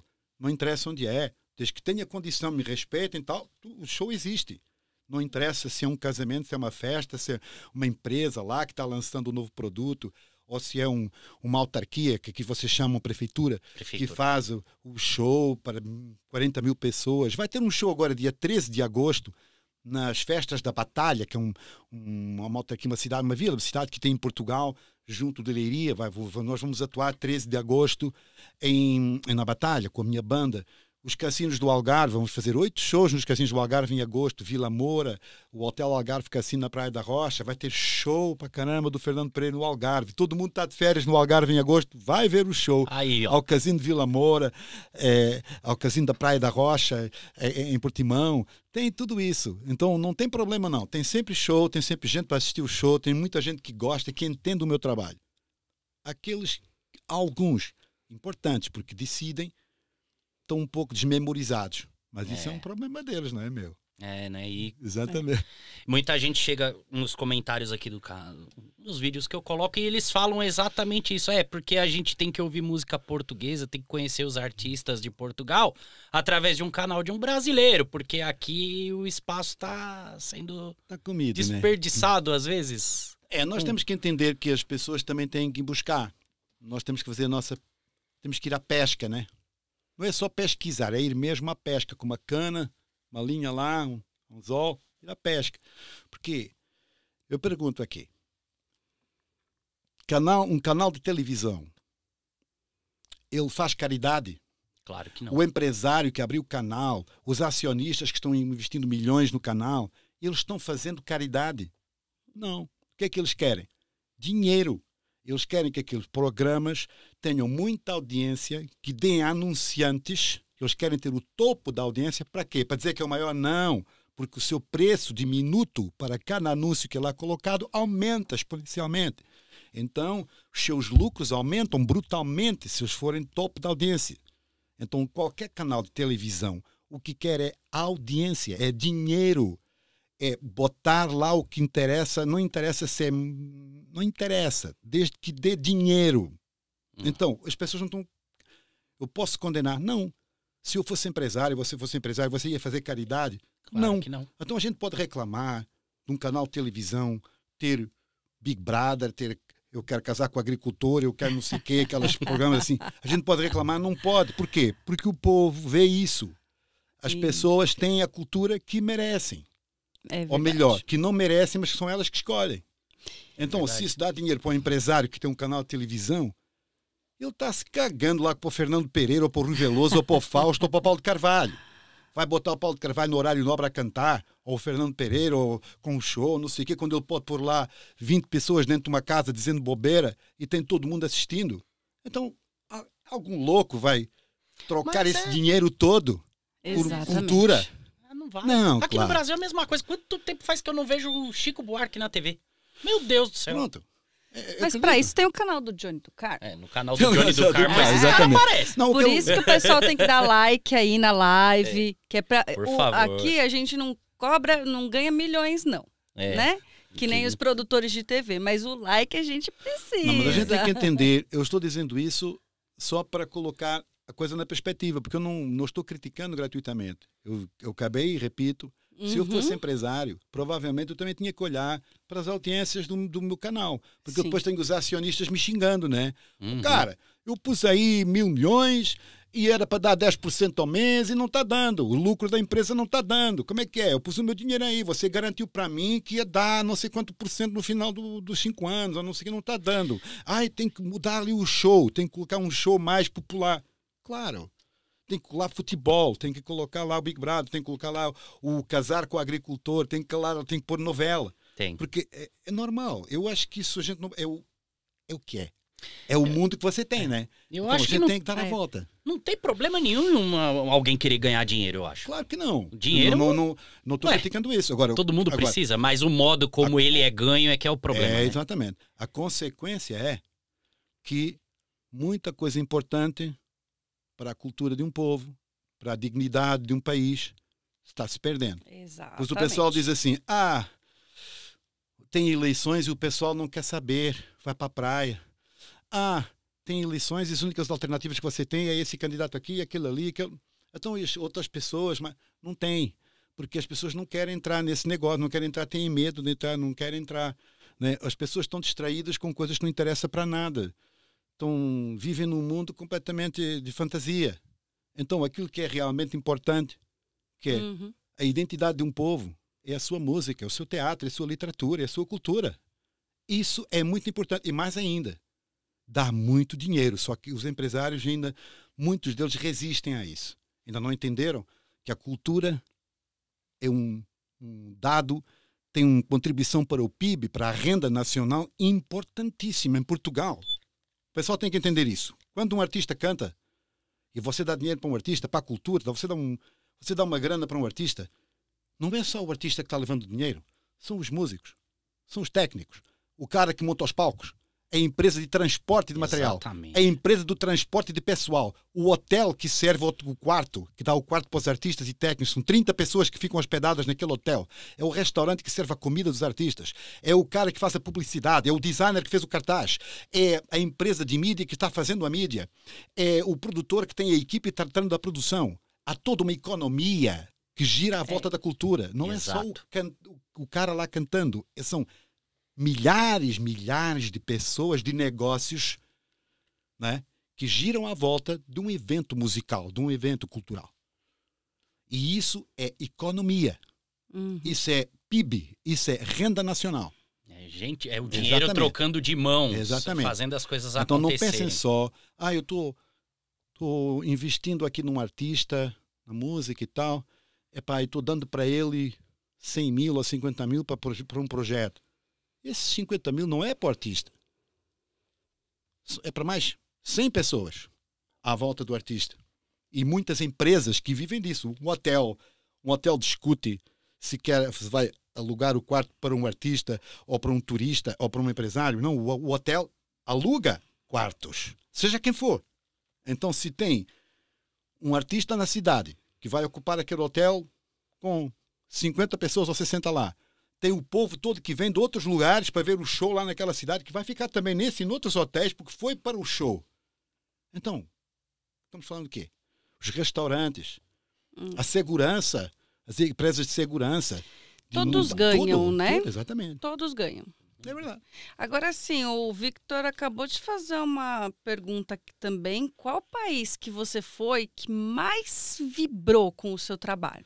Olha, não estou puxando saco, não, mas eu acho que o Brasil é um desses. Aê! É verdade, é verdade. Mas é verdade. Viva os brasileiros! Não, aliás, já tínhamos falado.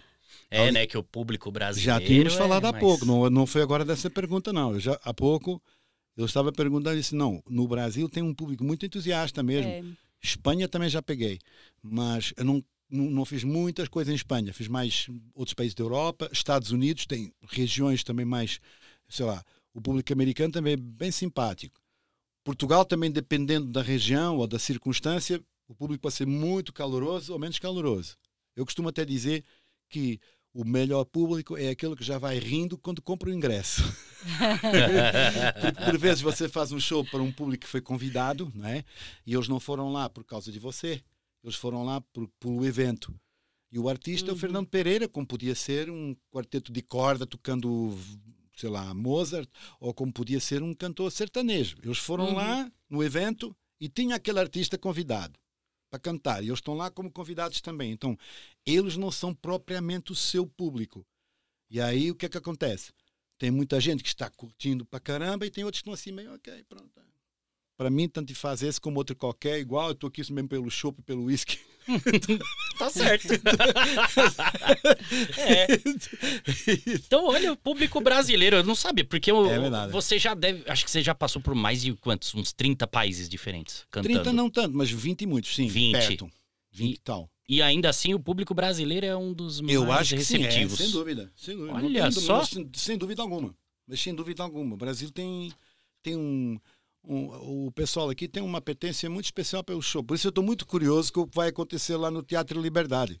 Estou muito curioso, porque a gente vai querer botar o pessoal para dançar. Eu quero todo mundo levantando lá no meio da sala. Tem um momento ah. no show que eu vou colocar o pessoal todo de pé, dançando comigo e cantando comigo. Aí, eu vou lá para o meio da sala cantar lá para o meio da plateia. Olha, vou, vou, vou. Já está planejado aqui. Só, só, se, só se segurança não permitir mesmo que eu passe lá, porque eu estou mesmo. não, mas eu acho que vai deixar. Tomara que deixe.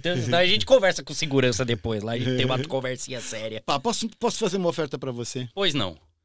Pois não? Por que, que é pois não? Pois não é não. pois não, sim. Não, não pois sim. Ah, pois sim. Ah. Claro, pode sim. Vamos reformular, né? Então, pois não é pois sim. Tá bom, então é assim. Esse álbum diz Amores e Humores, ó. Olha só. Ó, amores e Humores. E por quê? Eu vou tirar a camisinha, que é para Eu vou tirar a camisinha que é para fazer filho mesmo. Isso, que fica mais gostoso. É, assim, se tirar a camisinha faz filho, né? camisinha em Portugal tem outro nome, né? Não, camisinha é camisinha. Ah, é? Em Portugal também usa camisa de Vênus. Ah, aqui também. E sabe por que é camisa de Vênus? Por quê? Por, porque a estátua de Vênus não tem braços. Ah. Né? Então, se você veste uma camisa na estátua de Vênus, ela não precisa ter bracinho. Né? Ela ah, vai direitinho assim toda, entra assim, né? Mas tem touca, né? Tem, tem touca. É uma tem camisa touca. com touca, é, claro, tá exatamente. É, tá certo. Por isso é que é camisa de Vênus, mas camisinha também pega. Preservativo. A gente é. usa preservativo, ah, que é tá. para preservar uh, o negócio. Ah, sim. Né? sim. Tem um negócio que o homem gera. É. que quando chega, que quando chega no negócio que a mulher tem lá dentro, aí a combinação de um com o outro faz com que a vida aconteça. Né? Isso é uma coisa muito importante. Estou falando de ciência e biologia, não estou falando de gênero aqui. Claro. Estou falando só de biologia e ciência. Então tem esse negócio. Então a camisinha faz com que o negócio fique preservado dentro daquele borrachinha, daquela coisa, né? E aí, o, não dando, não fazendo contato, não há contacto, logo já não há risco daquela relação transbordar numa criança. Olha. Exatamente. Mas então, já tirou a camisinha do o disco? tá rindo aqui, ó. Tá. O povo tá se rachando aqui nos comentários. Amores e humores. Então, tem, são dois CDs. São dois é CDs. É duplo. Então, é duplo, porque tem aqui os amores e aqui os humores. O que é que é isso? Oh. Cá está, o artista multidisciplinar que eu estava falando há pouco. Então, nos amores, só tem Fernando Pereira cantando o seu estilo. Não tem imitação, não tem porra nenhuma dessas. É cantar vá, a sério. Certo. Eu quando faço imitações também é sério, mas pronto. As vozes também são a sério, né? Aliás, se você não cantar, não imita ninguém. Essa é a primeira coisa. Se você não cantar, não consegue imitar ninguém, certo? Verdade. Então, pá. então uh, amores. Humores é tudo que é piada. Olha Imitação, só. piada, não sei o que e tal. Mas temas mais de comédia, de comédia, coisa assim mais de comédia. Então tem aí. Que legal. Então, agora eu vou colocar aqui, ó, com essa caneta especial. Olha de fraternidade, chique. é uma caneta de fraternidade. Vocês estão vendo aí, né? Olha, ó. gente, eu... ah, eu o coração bate até forte. Olha isso. Para o Johnny com um chi coração. Sabe o que é um chi coração? É um abraço carinhoso. Normalmente oh, a gente faz um chi coração para as meninas, mas quando a gente é muito amigo de um cara, por amizade, por fraternidade, também pode dar um abraço carinhoso, um chico coração do Fernando Pereira. E hoje é dia que? 20? 20. Imagina só. 20 é um, de olha, julho. É, não, é 20 do 20 de 22. 20 do 7 de 20 e 22. certo? Isso, isso. 20 do 7 de 20 e 22. Muito importante essa data. Muito, Amores e humores, pega, cara. muito obrigado, Fernando. Isso me deixa feliz demais. Olha isso. tem uma fotógrafa aqui, tá, gente? Bom, é- agora tem um problema só. Mas Johnny, tem- vamos tem- aproveitar? Vamos, tem. Não, mas porque espera, eu. mas espera, mas tem um problema com essa, esse presente aqui. É que onde é que você vai escutar o CD? Já não tem mais escutar Ah, como eu escutar o CD. tenho. né? O Eu pessoal, tenho. Eu às vezes ouço A pessoal gente tem falar. até onde escutar disco. Eu às vezes ouço o pessoal falar: "Ah, eu vou gravar um novo CD". E eu espero que o carro da tua clientela, o automóvel, tinha lá leitor de CD, porque senão Não, mas em casa eu tenho. Eu tenho até disco. Pra tocar disco ainda, de Que vinil. maravilha. Eu tenho Ah, ainda. tá lá, tá lá no cenário. Tem, é. Agora tem também uma- um presentinho aqui pro, Ah, que bom. pro Fernando. Olha só. Vou- eu vou deixar a Amanda entregar pra você, porque ela é mais bonita que eu. Vai ficar mais Amanda, bonita na foto. Entrega pra mim, Amanda. Isso.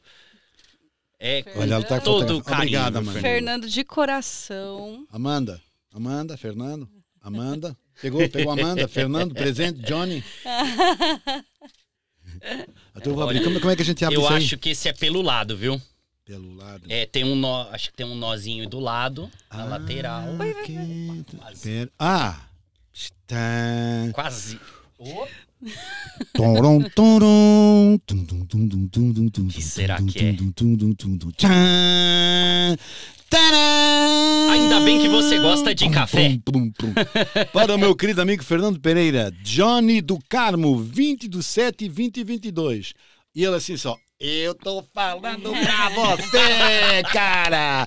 Faz like aí! Bota pra quebrar! Isso aí. Muito obrigado, meu querido amigo. Eu é que agradeço. Obrigado. Que maravilha. Eu é que maravilha, agradeço, cara. Eu tô maravilha. tão feliz com, o Fernando ter aceitado esse convite, que partiu também dos meus amigos do canal. Pessoal Ah, que que falou. Johnny, você tem que fazer uma live com o Fernando Pereira um dia. E, e não é que ele fez mesmo. Ele veio. Eu tô. É verdade, é verdade. Vamos contar, vamos contar a nossa história, né?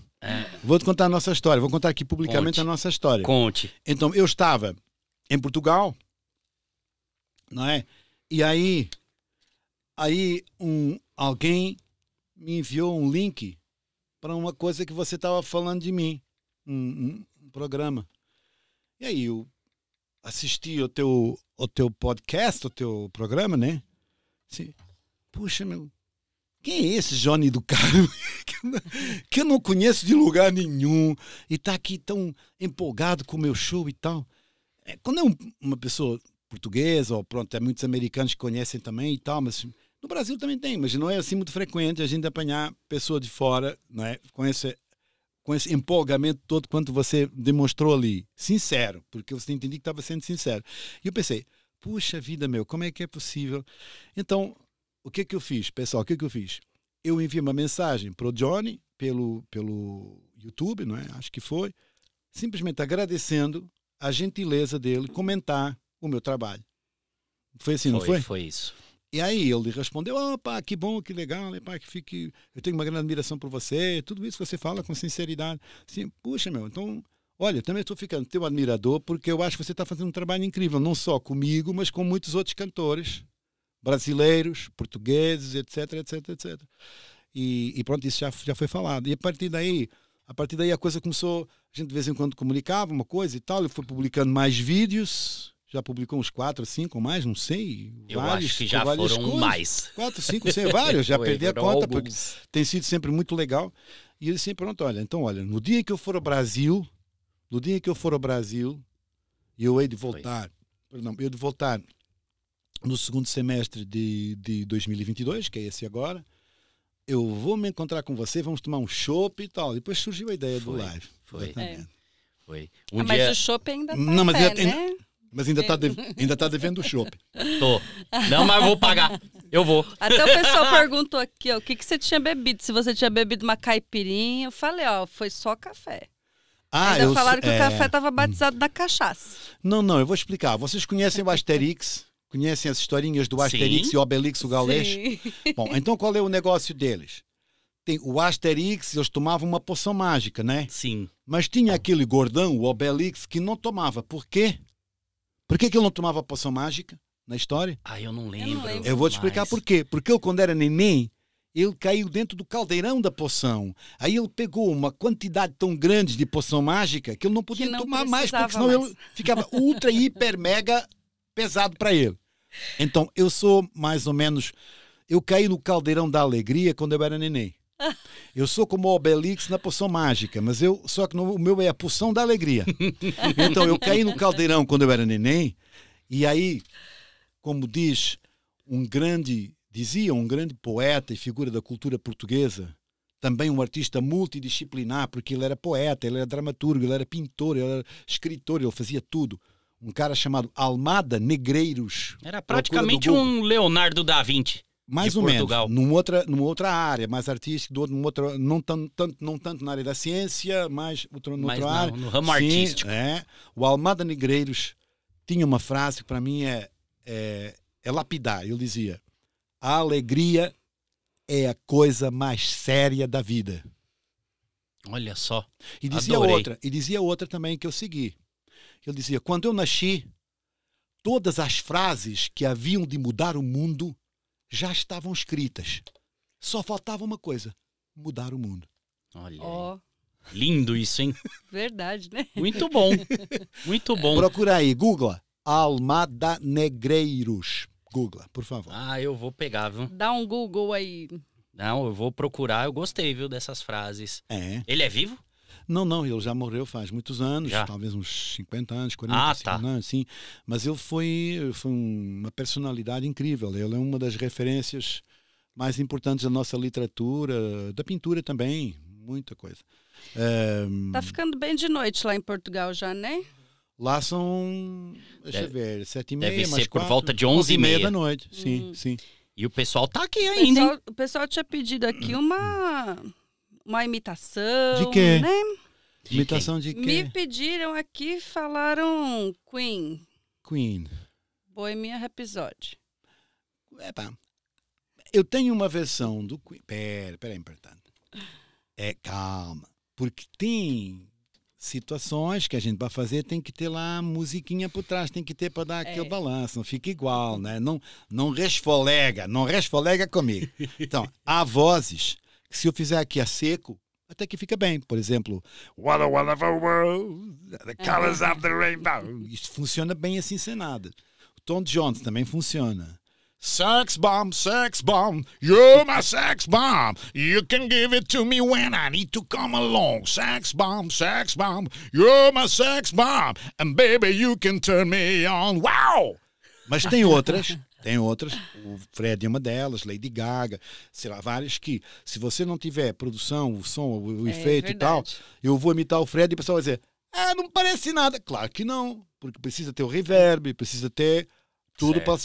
Isso é uma coisa que eu aprendi, é interessante. Olha, vou contar essa história para ti. E a Tina?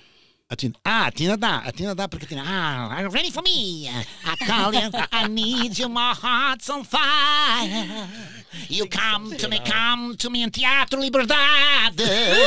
Eu vou. 29 e 30 de julho. Yeah, simply the best.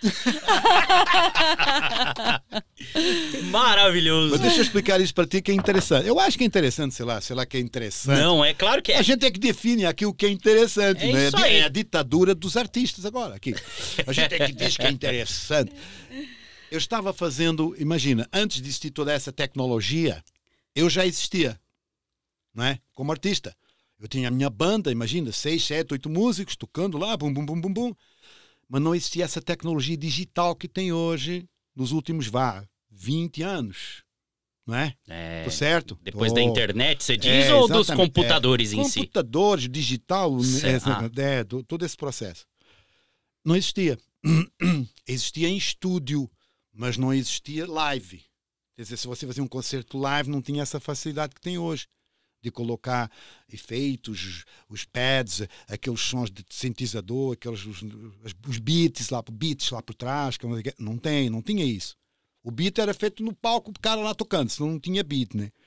Então, é, eu às vezes fazia, imagina, no meu show estava cantando, tudo bem. Quando eu canto as minhas músicas, tudo bem.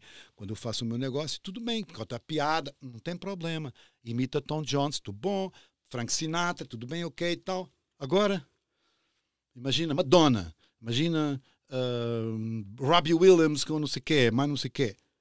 Aí eu imitava lá com a minha banda, mas eu sentia que o som que eu estava fazendo não, não, não ficava ao mesmo nível. Então houve um dia um diretor musical meu, um músico, falou, Fernando, como é que você quer que fique parecido com eles se você não usa no palco a mesma tecnologia que eles? Porque o pessoal sabe se a imitação é boa ou má pela comparação. Eu escutei o Michael Jackson, escuto o Fernando Pereira fazendo Michael Jackson. Se ele tiver parecido, ah, eu vou dizer, está muito parecido, está muito bom, muito parecido. Porque não é exatamente igual, é magia, é o meu negócio das imitações é um pouco como um, um mágico, um ilusionista, né? Que ele faz desaparecer esse coisa, você, ah, desapareceu, mas não, tá lá. Você é que acha que desapareceu porque ele fez um truque.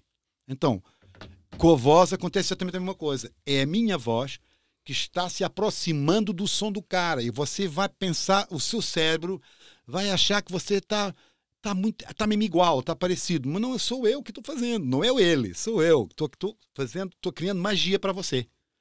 Ora, para eu fazer essa magia tem que ter a mesma arma, as mesmas ferramentas que os verdadeiros têm, porque se não uhum. tiver, você está jogando um jogo, como é que eu ia dizer?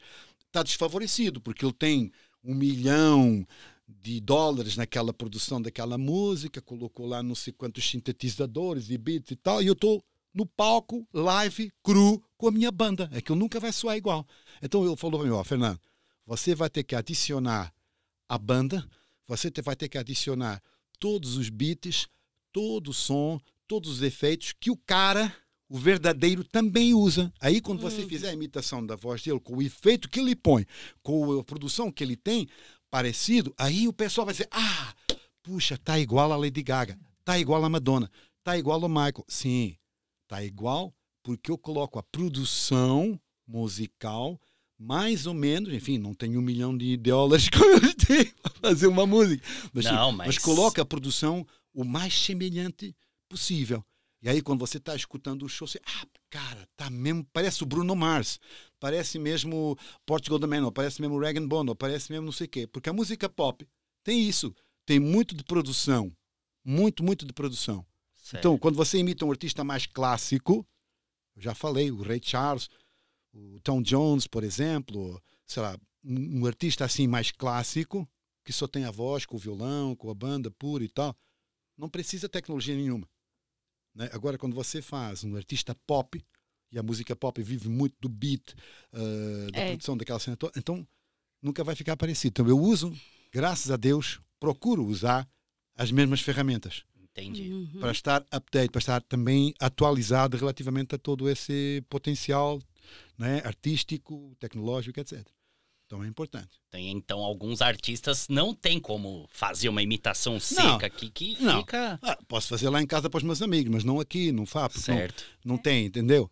Se você, se você quer que a coisa resulte e fique bem, é, então é, é para ficar bem. Então, se é para ficar bem, a gente tá faz certo. o que é bom. Exatamente. É isso aí. É isso aí. Boa. Mas, mas eu expliquei isso para as pessoas para o pessoal entender por que, que isso não é bar aberto, não é bar aberto. Não, porque tem muita gente que pode, pode, pensar que é má vontade, né? Não, não, não é. E não, não é, não, não é. é. é, é, é respeito por vocês, pelo público. Isso aí. Eu estou respeitando a mim e a vocês, ou seja, eu quero tudo que eu fizer, quando chega para cantar, tudo que eu fizer tem que ser na melhor condição possível. Eu tenho que ter a certeza que vai sair bem, que vocês vão curtir o que eu vou fazer. Né? E Exatamente. e tem alguma novidade assim para o show que está aqui no Brasil agora? Tem, que é outra coisa também que, que me preocupou é eu estou vindo no Brasil é, de novo cantar em São Paulo, já não venho aqui desde, imagina, desde 95 que eu não venho cantar em São Paulo. Então, Sério? Sim, desde Eu 90... pensei que tivesse vindo. Não, não, já. não, não. Eu já tive no, em São Salvador, Porto Alegre, em outros locais, mas aqui em São Paulo eu fiz aquela, aquela turnê, não foi uma turnê, tive uma temporada aqui na, em 95, depois eu andei pelo, pelo, mundo, Portugal, por todo mundo. E, e, e, quando vim ao Brasil foi especificamente para um evento lá, um evento, não, não fiz nenhuma turnê aqui. Ah. Tá. Não. Então, o que é que eu pensei dessa vez? Eu vou voltar ao Brasil para fazer alguns shows em São Paulo, em outras cidades, mas eu quero também que esse show seja um, uma homenagem à música brasileira, seja uma homenagem, fazer uma ponte com o Brasil. Eu não venho aqui impor a minha cena. Eu venho fazer a minha cena. Eu vou cantar o fado português do Alan Ullman, e de José Régio, outro grande poeta português. O fado nasceu um dia, quando o vento mal bolia e o céu o mar prolongava. E aí não vou cantar com sotaque brasileiro, não. O fado é com sotaque português, pá. Como é óbvio, não é? Mas eu vou fazer todas essas imitações das estrelas internacionais, mas eu também vou prestigiar, penso eu, espero eu, a boa música brasileira. Eu tenho eu estou trabalhando com a nossa pianista aqui, a Jay, é uma moça que tá, vai tocar com a gente lá no show, que isso também é uma coisa importante de falar. Eu sou português, estou vindo aqui no Brasil fazer um show em São Paulo, mas tudo que está no palco, cantoras back vocals, DJ, pianista, bailarina, produção, coreografia, é tudo gente brasileira contratada no Brasil para trabalhar comigo. Não vem mais ninguém. Não vem mais ninguém. Poderia ter vindo, se a gente tivesse um orçamento muito grande, vinha tudo avião. Mas eu acho que essa também é um pouco a minha responsabilidade. É vir aqui, trago o meu trabalho, venho mostrar a minha arte, mas eu também vou dando, dando oportunidade aos, aos brasileiros também, aos músicos brasileiros, cantoras brasileiras, pessoas brasileiras trabalharem comigo. E a gente pode partilhar isso. Ah, que né? legal. Né? Então eu estou trabalhando com essa pianista brasileira, a Jay, a gente está trabalhando uma série de temas, desde eu sei que vou te amar, a fascinação, os sonhos mais lindos sonhei. Ai, a gente está trabalhando uma a gente está trabalhando uma série de temas que eu vou cantar com a minha voz, com o meu estilo no palco, com ela, um piano, porque isso é outra coisa. Eu expliquei já isso várias vezes e, e, e, não vou cansar de explicar até para vencer a tal ignorância e o tal preconceito. Eu sou um artista multidisciplinar. Isso significa que eu não faço só uma coisa. Significa que eu não faço só uma coisa. Eu não faço só imitações de vozes. Eu não canto só com a minha voz. Eu não faço só comédia. Eu não faço só poesia. Eu faço tudo isso tudo. ao longo do show. Eu canto com a minha voz o que eu quiser. O que eu quiser que eu me apeteça fazer, não é o que eu quiser, porque eu, o que me apetece fazer. Eu faço piada, eu digo poesia de Fernando Pessoa, de, de Vinícius de Moraes, de muitos outros poetas, não é? no contexto do espetáculo, do show. Depois oh. tem momentos de comédia, que a gente descontrai com comédia, com piada. Depois tem as vozes, a festa das vozes, a magia das vozes, tudo, para o pessoal cantar, dançar, curtir. Então, o show é essa pessoa aqui, com tudo isso que ela tem para dar às pessoas também aqui. Dia 29 então, e 30, então vai ser tudo isso. 29 e 30 vai ser tudo isso. Nossa. O cantor, o comediante, o declamador, o ator, o imitador.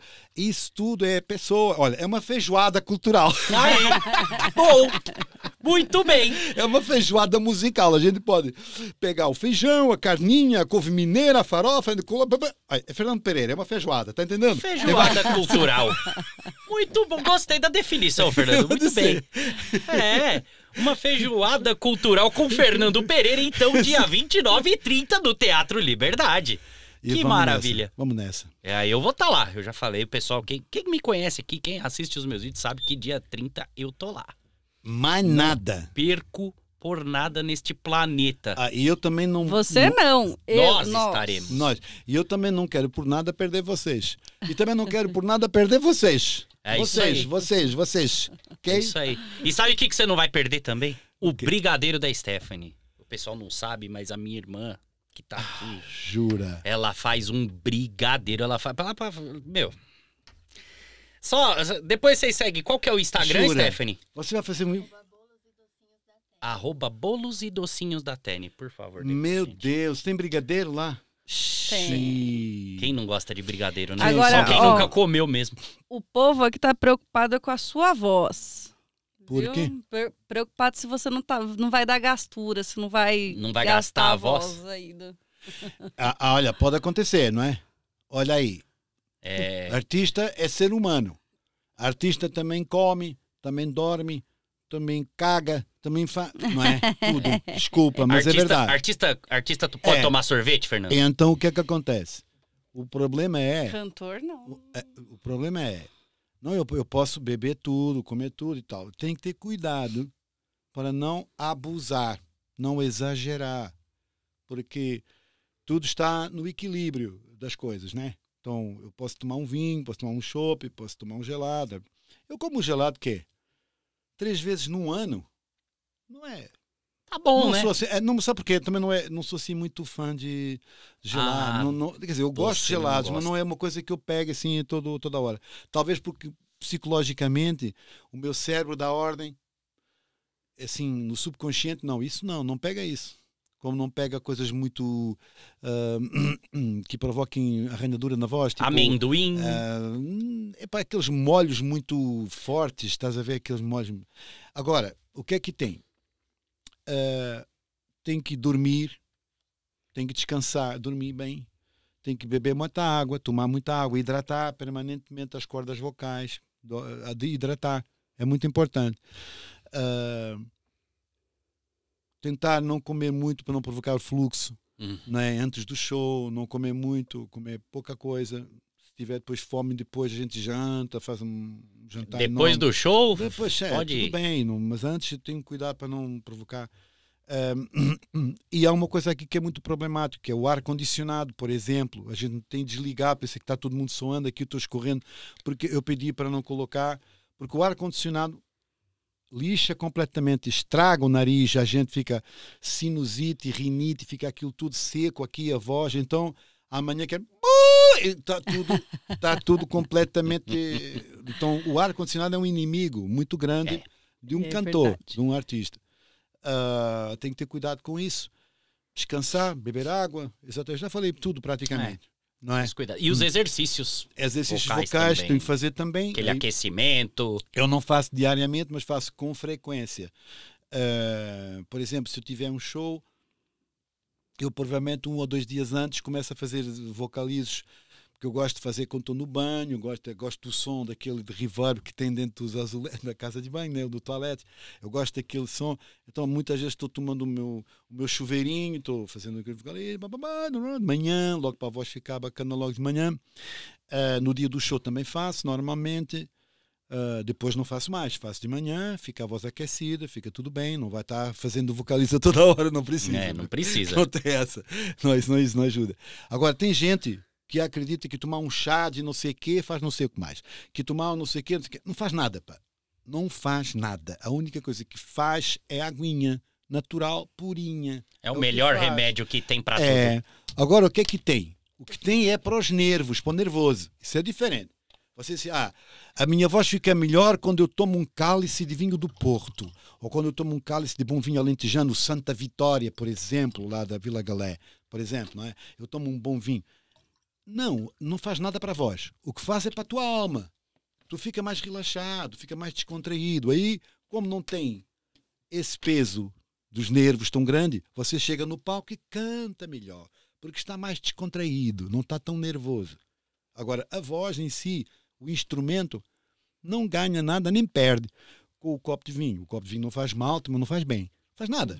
Ah, o, que- o que faz bem é a aguinha, Água. aguinha natural. É água. Ou é- chá, chazinho natural, tudo bem, chá. é, eu, quando eu, eu cantava antes, an- O chá é mais bom, antigamente, chá eu é tomava conhaque. Eu Ah, não, acreditava que o conhaque me, Não, não. me fazia ter uma performance melhor, mas O depois eu conhaque, Johnny, que- o conhaque faz é te relaxar um pouco mais, É. dá-te um pouco mais de descontração para estar mais pronto, para estar mais bem disposto. Eh, água e chá. Sim. Não precisa botar açúcar, não precisa nada. Só água, um chazinho. Pode ser de hortelã, pode ser de, de sei lá, de, ah, como, é, como é que é aquilo, aquilo que a gente gosta? Gengibre, Gengibre. por exemplo, limão, enfim, uma coisa assim só para dar É, pronto, um mas, chazinho. é, mas eu, eu, eu tô Mas parando água- mesmo água de, natural. de, de beber muito álcool durante as apresentações. Que eu também agora eu não tô fazendo tantas mais. Mas eu evito álcool agora quando eu vou cantar. Eu gosto muito de tomar um, um vinho, eh, gosto muito de tomar um vinho e, e por exemplo, o vinho do Porto, que é um vinho espirituoso, doce. Eu muitas vezes tomo um cálice de vinho do Porto no camarim, não, não, porque gosto do vinho, claro, gosto daquele vinho especificamente. Um vintage, um vintage, Porto vintage, 10, 20 anos, eu gosto mas é só porque me descontrai, não, uhum. não tem qualquer influência. Não, na, na voz, mesmo, não. não. É isso aí. A gente já tá acabando. Estamos aqui já, nos encaminhando pro é, finalzinho já tá acabando. Da eu live. nem vi a hora passar, cara. Meu, já passou tanto tempo, duas horas aí. Quase duas horas já, Fernando. Você acredita Xiii, nisso? E, Johnny, qual é aquela pergunta que não quer calar, que você queria fazer pro Fernando? Ah, a última pergunta, Fernando. Aí é meu lado historiador que vai, falar, vai perguntar. Erra, assim. Vamos ver se. É, você já foi já teve problema com o governo português na época da, do, da, da ditadura, ditadura, não foi? Não foi com o governo, foi com a polícia política com mesmo. Com a polícia, com a PID, sim, né? Com a PID, sim, tive problema. Como que foi isso? Porque eu não, não, não cheguei a ver, assim, com detalhes o porquê. Eu não, ou eu não entendi direito o porquê se, se você estava na hora errada no lugar errado, Bom, tem, ou se tem, foi. Tem, tem, todo um histórico que, que eu posso explicar, porque eu acho que até interessante para o pessoal entender mais ou menos como funcionava essa época. Não é? Quando a gente viveu uma ditadura de 48 anos, uma ditadura muito agreste, também com guerra colonial, muitos jovens iam para a guerra. Imagina, eu. Depois aconteceu a, a revolução, e veio a democracia a guerra acabou, mas, por exemplo, eu, os meus tios, meus primos, todas as pessoas um pouco mais velhos que eu, chegavam aos 18 anos, paravam os estudos e iam para a guerra, para Angola, para Moçambique, para Guiné. Muitos vinham estropiados, sem pernas, assim, morriam lá. Então, é, era meio que um, um, processo meio inglório, não é? E é, era uma guerra muitíssimo discutível, muito desnecessária, na minha opinião. Essa era a minha opinião. E de muitos milhões de pessoas em Portugal. Que a guerra era desnecessária, inconcebível e completamente castradora dos jovens, da juventude, da economia portuguesa. Então, uh, eu me encontrei muitas vezes com 14 anos de idade, com 15 anos de idade, em manifestações na rua contra a guerra, pela paz e contra a ditadura, pela democracia. A gente queria votar, ter um país livre, que a gente escolhia quem quisesse, bom ou mal, era a escolha da gente, entendeu? E não uma pessoa imposta pelo regime, pela polícia, pelo exército, pela, entendeu? Uh, pelo exército não, o exército é outra história. O exército fez depois. Foi o que ajudou foi, foi a libertar que, lá. Exatamente, foi o que criou o primeiro impulso para terminar com a ditadura, não é? No 25 de abril de 74, que depois deu a democracia. Houve ali um processo muito complicado, esquerda, direita, bom, bom, bom. Mas depois a, a, a, a democracia se ajeitou e criou o seu próprio caminho, não é? E hoje o país, Portugal é um país muito democrático, os poderes muito bem eh, equilibrados, você tem o, o presidente, o parlamento, os tribunais, tudo independente. Hoje é muito difícil encontrar não sei se existem assim tantos países tão democráticos no sistema como Portugal é, não é? É verdade. Então, esse é, meu, é o meu sentimento, é o meu minha percepção. Então, o que é que aconteceu? Eu tinha 14, 15 anos e, e via muita injustiça, injustiça contra os jovens, injustiça contra a cultura, injustiça contra as mulheres, contra os homossexuais, contra os negros. Eu lutava pela inclusão, pela liberdade dessas hum. pessoas serem felizes. Eu, eu, eu ia para manifestações pela, pelos direitos humanos, pelos direitos das pessoas, das mulheres terem um salário compatível com o seu trabalho, serem respeitadas né, os negros serem, serem respeitados, os homossexuais serem respeitados, as pessoas poderem ser respeitadas nas suas diferenças. Não interessa se a gente gosta mais ou gosta menos. Todo mundo, todo, em todo mundo, toda pessoa tem direito a ser feliz. Não interessa, a pessoa não escolhe a condição. Quando você nasce, você nasceu. Você não pediu para nascer. Seu pai, sua mãe o puseram aqui. Você não pediu para nascer numa família rica ou pobre, preto ou branco hétero ou homossexual, alto uhum. ou baixo, com cabelo assim ou cabelo assado, com o olho de cada cor. Você não escolheu, você simplesmente existe. Exatamente. Você nasceu por opção dos seus pais e você se confronta com a sua realidade. Então você tem tanto direito a ser feliz quanto eu, como todos, quanto qualquer um de nós. É. Então o que é que a sociedade tem que fazer? Criar condições para que todo mundo nas suas circunstâncias, possa ser feliz. Exatamente. E se, e se compreender, e se amar, e se respeitar. É só isso que a gente tem que fazer. Super concordo. Mais nada. Agora, não temos que andar uns contra os outros. Não tem que colocar trabalhador contra o patrão, nem patrão contra o trabalhador, nem dizer que ah, os empresários é que é tudo, ah, os trabalhadores é que é tudo. Não, não é. Todos são importantes. Todos são necessários no processo. Uhum. Né? E todas as pessoas são importantes na sua diferença. Né? Por exemplo, hoje tem um, um caso em Portugal, uma atriz que foi criticada porque colocou aquel, aquelas trancinhas africanas e o pessoal está, ah, ela está fazendo apropriação cultural. Ah, sei. Meu, eu desconheço isso. Eu não sei o que é, que é isso. Eu não sei o que é, que é apropriação cultural. Também Porque não se eu faço quiser, ideia. se eu quiser, se eu quiser pôr o cabelo louro, ou se uma pessoa que é africana pintar, puxar o cabelo liso e colocar louro, é o direito dela, escolheu. Ela gosta assim. Se há uma, se há uma pessoa branca que pôs a trancinha porque gosta, ela, ela Qual é o escolheu problema, assim. né? Qual é o problema? O que é, que é isso de apropriação cultural? Quer dizer, eu entendo, eu sei o que é, não sou estúpido. Eu acho é que as pessoas estão pensando errado. Uhum. Porque o mundo inclusivo, a gente não se não coloca fronteiras nem muros entre nós, a gente coloca pontes. A eu vida quero- é tão mais fácil e cada um cuida da sua, né? Exata, Assim. E fazer o que gosta, o que quer. É. Agora, o que é que tem que respeitar? Tem que respeitar a natureza. Tem que respeitar o universo. Uhum. A gente, você pode fazer o que quer. Eu posso Desde fazer o que que eu quero. você não atrapalhe a, a vida de todos, É. né? Exatamente. Exatamente. Então aí é que tem a diferença. Mas respondendo mais concretamente ao, ao, ao Johnny, então eu já muito jovem, eu tinha despertado para essa realidade. Não é? Era uma realidade, eu vivia na cidade, todos, todos os meus amigos tinham o mesmo sentimento contra a ditadura, todos, meu pai, minha família toda. Claro que havia pessoas que gostavam da ditadura. Ainda hoje há pessoas que recordam com boa memória a ditadura. Por quê? Porque não sentiram tanto esse, essa necessidade de, de procurar uma via diferente da democracia e tal. Para eles estava bem, tanto estava bem assim como de outro jeito qualquer. Provavelmente, Isso é respeitável. provável- provavelmente até ganhavam uma migalhinha ali, uma migalhinha acolá, tinha um patrão lá que ajudava, não sei o quê. Então, é, é- é óbvio que nós não podemos também estar contra essas pessoas, porque é compreensível que haja pessoas que tenham uma percepção diferente. A que eu tenho e que eu tinha de muitos anos de vida, já muito jovem, e toda, toda, toda a gente que eu conhecia, todas as pessoas que eu conhecia eram pessoas que queriam o mesmo que eu, queriam um mundo mais inclusivo, democrático, moderno, não é? Mais, com mais cultura, com mais música, com mais trabalho, com mais dinheiro para as empresas, com mais dinheiro para as pessoas, entendeu? Porque também as empresas eram prejudicadas na ditadura, porque só 10 ou 12 famílias dominavam a economia toda. Você era um empresário e queria fazer um negócio, era muito difícil, porque ou você pertencia àquelas famílias que dominavam a cultura, mas vá, vamos colocar aí 20 famílias, 30, por exemplo. O resto o pessoal tinha que lutar para caramba para conseguir um negócio assim importante. Podia ter uma pequena empresa, uma grande empresa era difícil. Quando digo uma grande empresa, é Sim. grande mesmo. Uma Aqui no Brasil, empresa. não. Aqui no Brasil tem qualquer pessoa que quer ter uma empresa grande, trabalha para isso, investe, não sei, o que fa- naquele tempo não era assim. Não era assim. Então, todo mundo queria a democracia. Então, em várias dessas manifestações e coisas que eu às vezes entrava, como muito jovem, vinha lá a polícia carregar na malta, pum, pum, pum. E eu às vezes levava assim umas porradas, né?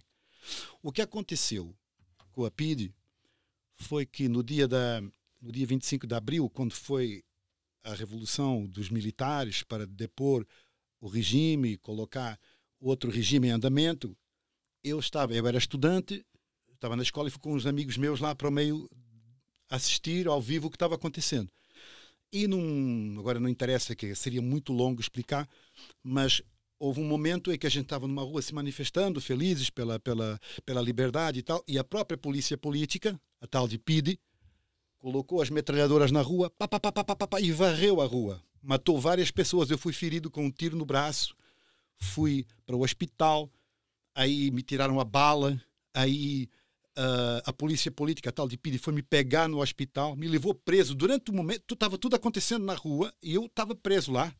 Aí me fizeram um interrogatório, deram porrada e eu só saí no dia 26 de abril de madrugada. Ou seja, o 25 de abril aconteceu, não é? Todo mundo E festejando. você preso. Eu e mais um grupo de 10, 12 pessoas lá, estávamos presos pela PIDE, a levar porrada, Baleado. Baleado, exatamente.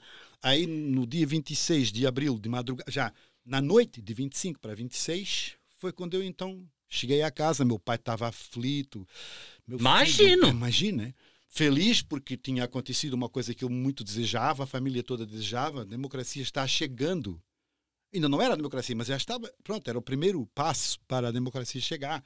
Meu pai estava muito feliz com isso, mas ao mesmo tempo muito triste e preocupado com aquilo que tinha acontecido comigo, né?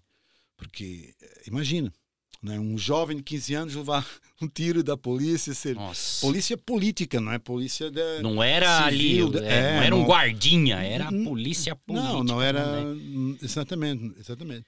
Então, é, foi Deus. isso que aconteceu. Então, para mim é uma experiência muito interessante que neste hoje é uma referência histórica, é apenas uma uma história interessante para contar. O importante foi que Portugal, umas vezes melhor, outras vezes pior, não é? Com um empurrão para lá, com um empurrão para cá. Hoje é um país muito saudável do ponto de vista político. Tem vários partidos, muitos partidos, todos eles com presença no parlamento, todos eles com possibilidade de fazer existe, as suas propostas. Existe um diálogo entre as diferenças. Existe, e... obviamente, partidos de direita, de esquerda, do centro, mais radical, menos radical. Ainda bem, isso é o reflexo da própria sociedade. Uma sociedade que tem muita diversidade de pessoas tem que ter partidos que representem essa diversidade Exato. de opiniões e até de desejos, de vontades. Porque os partidos não refletem só opiniões, refletem os estares, as formas de estar na sociedade. Né? Imagina que o orçamento, o orçamento de um país é uma pizza, né? E que você corta em fatias. Esta é a fatia para os empresários, esta é a fatia para os trabalhadores, esta é a fatia para, a cultura, esta é a fatia para não sei o quê. Você só tem que identificar é, na pizza do orçamento onde é que está a fatia que dá dinheiro para você. Né? Para você saber não se deixar enganar. Sim. Porque tem, tem uma parte da pizza que diz que está te ajudando, mas não está. Não é? E tem outra parte da pizza que também diz que está te ajudando, mas não está. Você tem que entender é, nos, nas várias fatias da pizza política, qual é que é a fatiazinha, grande, pequena, média, onde você se encontra onde você encontra ali a sua rendazinha, você encontra ali os seus valores, aquilo que você acredita também, realmente aquilo que você hum. quer para a vida, para a humanidade, para as pessoas. Não é só aquilo que você quer para você, é aquilo que você quer para você, mas também para os seus vizinhos, para os seus hum. filhos, para os outros que vão de vir a seguir. Né? Como eu queria que a maior parte dos brasileiros pensassem com, como você, viu, Fernando? Não sei. Nossos não, problemas seriam tão menos complicados, eu diria. Eu, não, eu também não quero. Nesse repare, campo político. É, eu não. Johnny, muito sinceramente, eu não quero tomar nenhum protagonismo nisso. Claro. Eu estou falando aqui abertamente do coração, é a minha opinião. Eu não quero falar da política brasileira, nem portuguesa, nem porque não compete a mim. Eu sou, eu não tenho é. nada que opinar. Os brasileiros é que têm que opinar sobre a sua vida. Eu estou falando no geral. Eu acho que as pessoas têm que olhar um pouco, não só para si, mas como dizia Jesus Cristo, e todo mundo é cristão e bate com a mão no peito que é cristão, independentemente da igreja, são todos cristãos, né? Ama o outro como a ti mesmo. Eu repito, ama o outro, o outro é qualquer outro, como a ti mesmo. Isso uhum. significa que você não pode pensar só no seu umbigo, não pode pensar só no, no, no seu dinheiro, na sua ganância, no seu. Tem que pensar, eu quero para mim conforto, sim, mas até que ponto é que eu também estou conseguindo o conforto do outro? Como Jesus Cristo sempre afirmou e morreu para explicar isso. Não é foi? isso aí. Exatamente. o povo já está pedindo você para presidente aqui. Não são palavras. Ai, gente. Mas, gente, tá acabando. Eu queria agradecer a todos. Ah, só explicar para o pessoal é. aqui, né? O estúdio hoje é alugado. Hoje a gente não está no, no estúdio do Johnny. Porque é. o estúdio do, do, do Joel. Volta. Volta. o nosso estúdio é muito pequenininho, né? Então não ia dar. Hoje a gente alugou o estúdio aqui para poder receber o Fernando como ele merece. Muito obrigado. Olha, eu, eu fico muito lisonjeado e muito agradecido por isso. Eu é que fico. Foi eu só desejo a vocês, Johnny, eu só desejo muitas felicidades para vocês pessoalmente. Para todos nós, para quem está assistindo também. E para todo mundo aí, claro. Claro hum. que sim. Mas, sobretudo, vocês que tiveram esse trabalho de colocar o estúdio para me receber. Olha, eu vou dizer, não vou mais esquecer esse dia. Palavra é verdade. Ah, então somos dois, porque esse dia vai ficar na minha memória para sempre, no meu coração. e tudo. Eu, eu, eu tinha um ídolo e ainda continuo tendo, mas agora eu posso dizer que eu tenho um amigo também, né, Fernando? É verdade. E já agora, deixa eu falar também, já que falamos de amigos, eu quero agradecer muito estar aqui hoje. Primeiro, a você, Rafael Gomes dos Santos. A você, Rafael. A Lu Barbosa, minha querida, está lá. Quero agradecer ao Jorge Rebelo de Almeida, ao Gonçalo Rebelo de Almeida, ao Hotel Vila Galé, ao Grupo Vila Galé. Melhor, os melhores hotéis de Portugal e portugueses aqui no Brasil são Vila Galé. Tem um vinho fenomenal. Eles me ajudaram a estar aqui hoje também no Brasil. Uhum. Então essas pessoas merecem essa referência aqui. Isso aí, Fernando. Tá vendo um cara grato, tá vendo? Não, não, não é, não é, é, é, é, é tal e qual como eu estou falando. Eu não estaria hoje aqui se não fossem essas pessoas terem criado um conjunto de, de, de possibilidades, criado condições para que eu pudesse vir aqui no Brasil fazer esse show. Obrigado também ao Áureo, às meninas, a pianista, a, de, a DJ, a, a coreógrafa, bailarina, o pessoal da produção do Teatro Liberdade, o Manuel, todo mundo, porque tem sido um conjunto de pessoas que se tem esforçado para que as coisas aconteçam realmente. É isso aí. E vamos fazer acontecer. Vamos. E ó, dia 29 e 30, hein, gente? Já entra, ó. No, eu coloquei o, link para comprar o ingresso aqui no, no, na, na, descrição da live, hein? Clica lá e compra o ingresso aí, quem tá aqui em São Paulo, porque é fantástico. Eu vou. Vai eu, vou a Amanda, vou minha mãe, vou levar até minha mãe para ver esse show. Não perco. Dona, Dona Zuleika. Mas olha, mas manda, manda um abraço para minha mãe, Fernando. Não, um abraço, por favor. Tu, um abraço para a mãe do Johnny. Isso. Não, mas, mas Zuleika. Mas eu deixei para o fim melhor. Ah é? Eu, eu quero agradecer do coração a essa mulher maravilhosa que me acompanha para todo lado, a minha Conceição. Um beijinho grande para ela. Ai, Conceição. muito bom.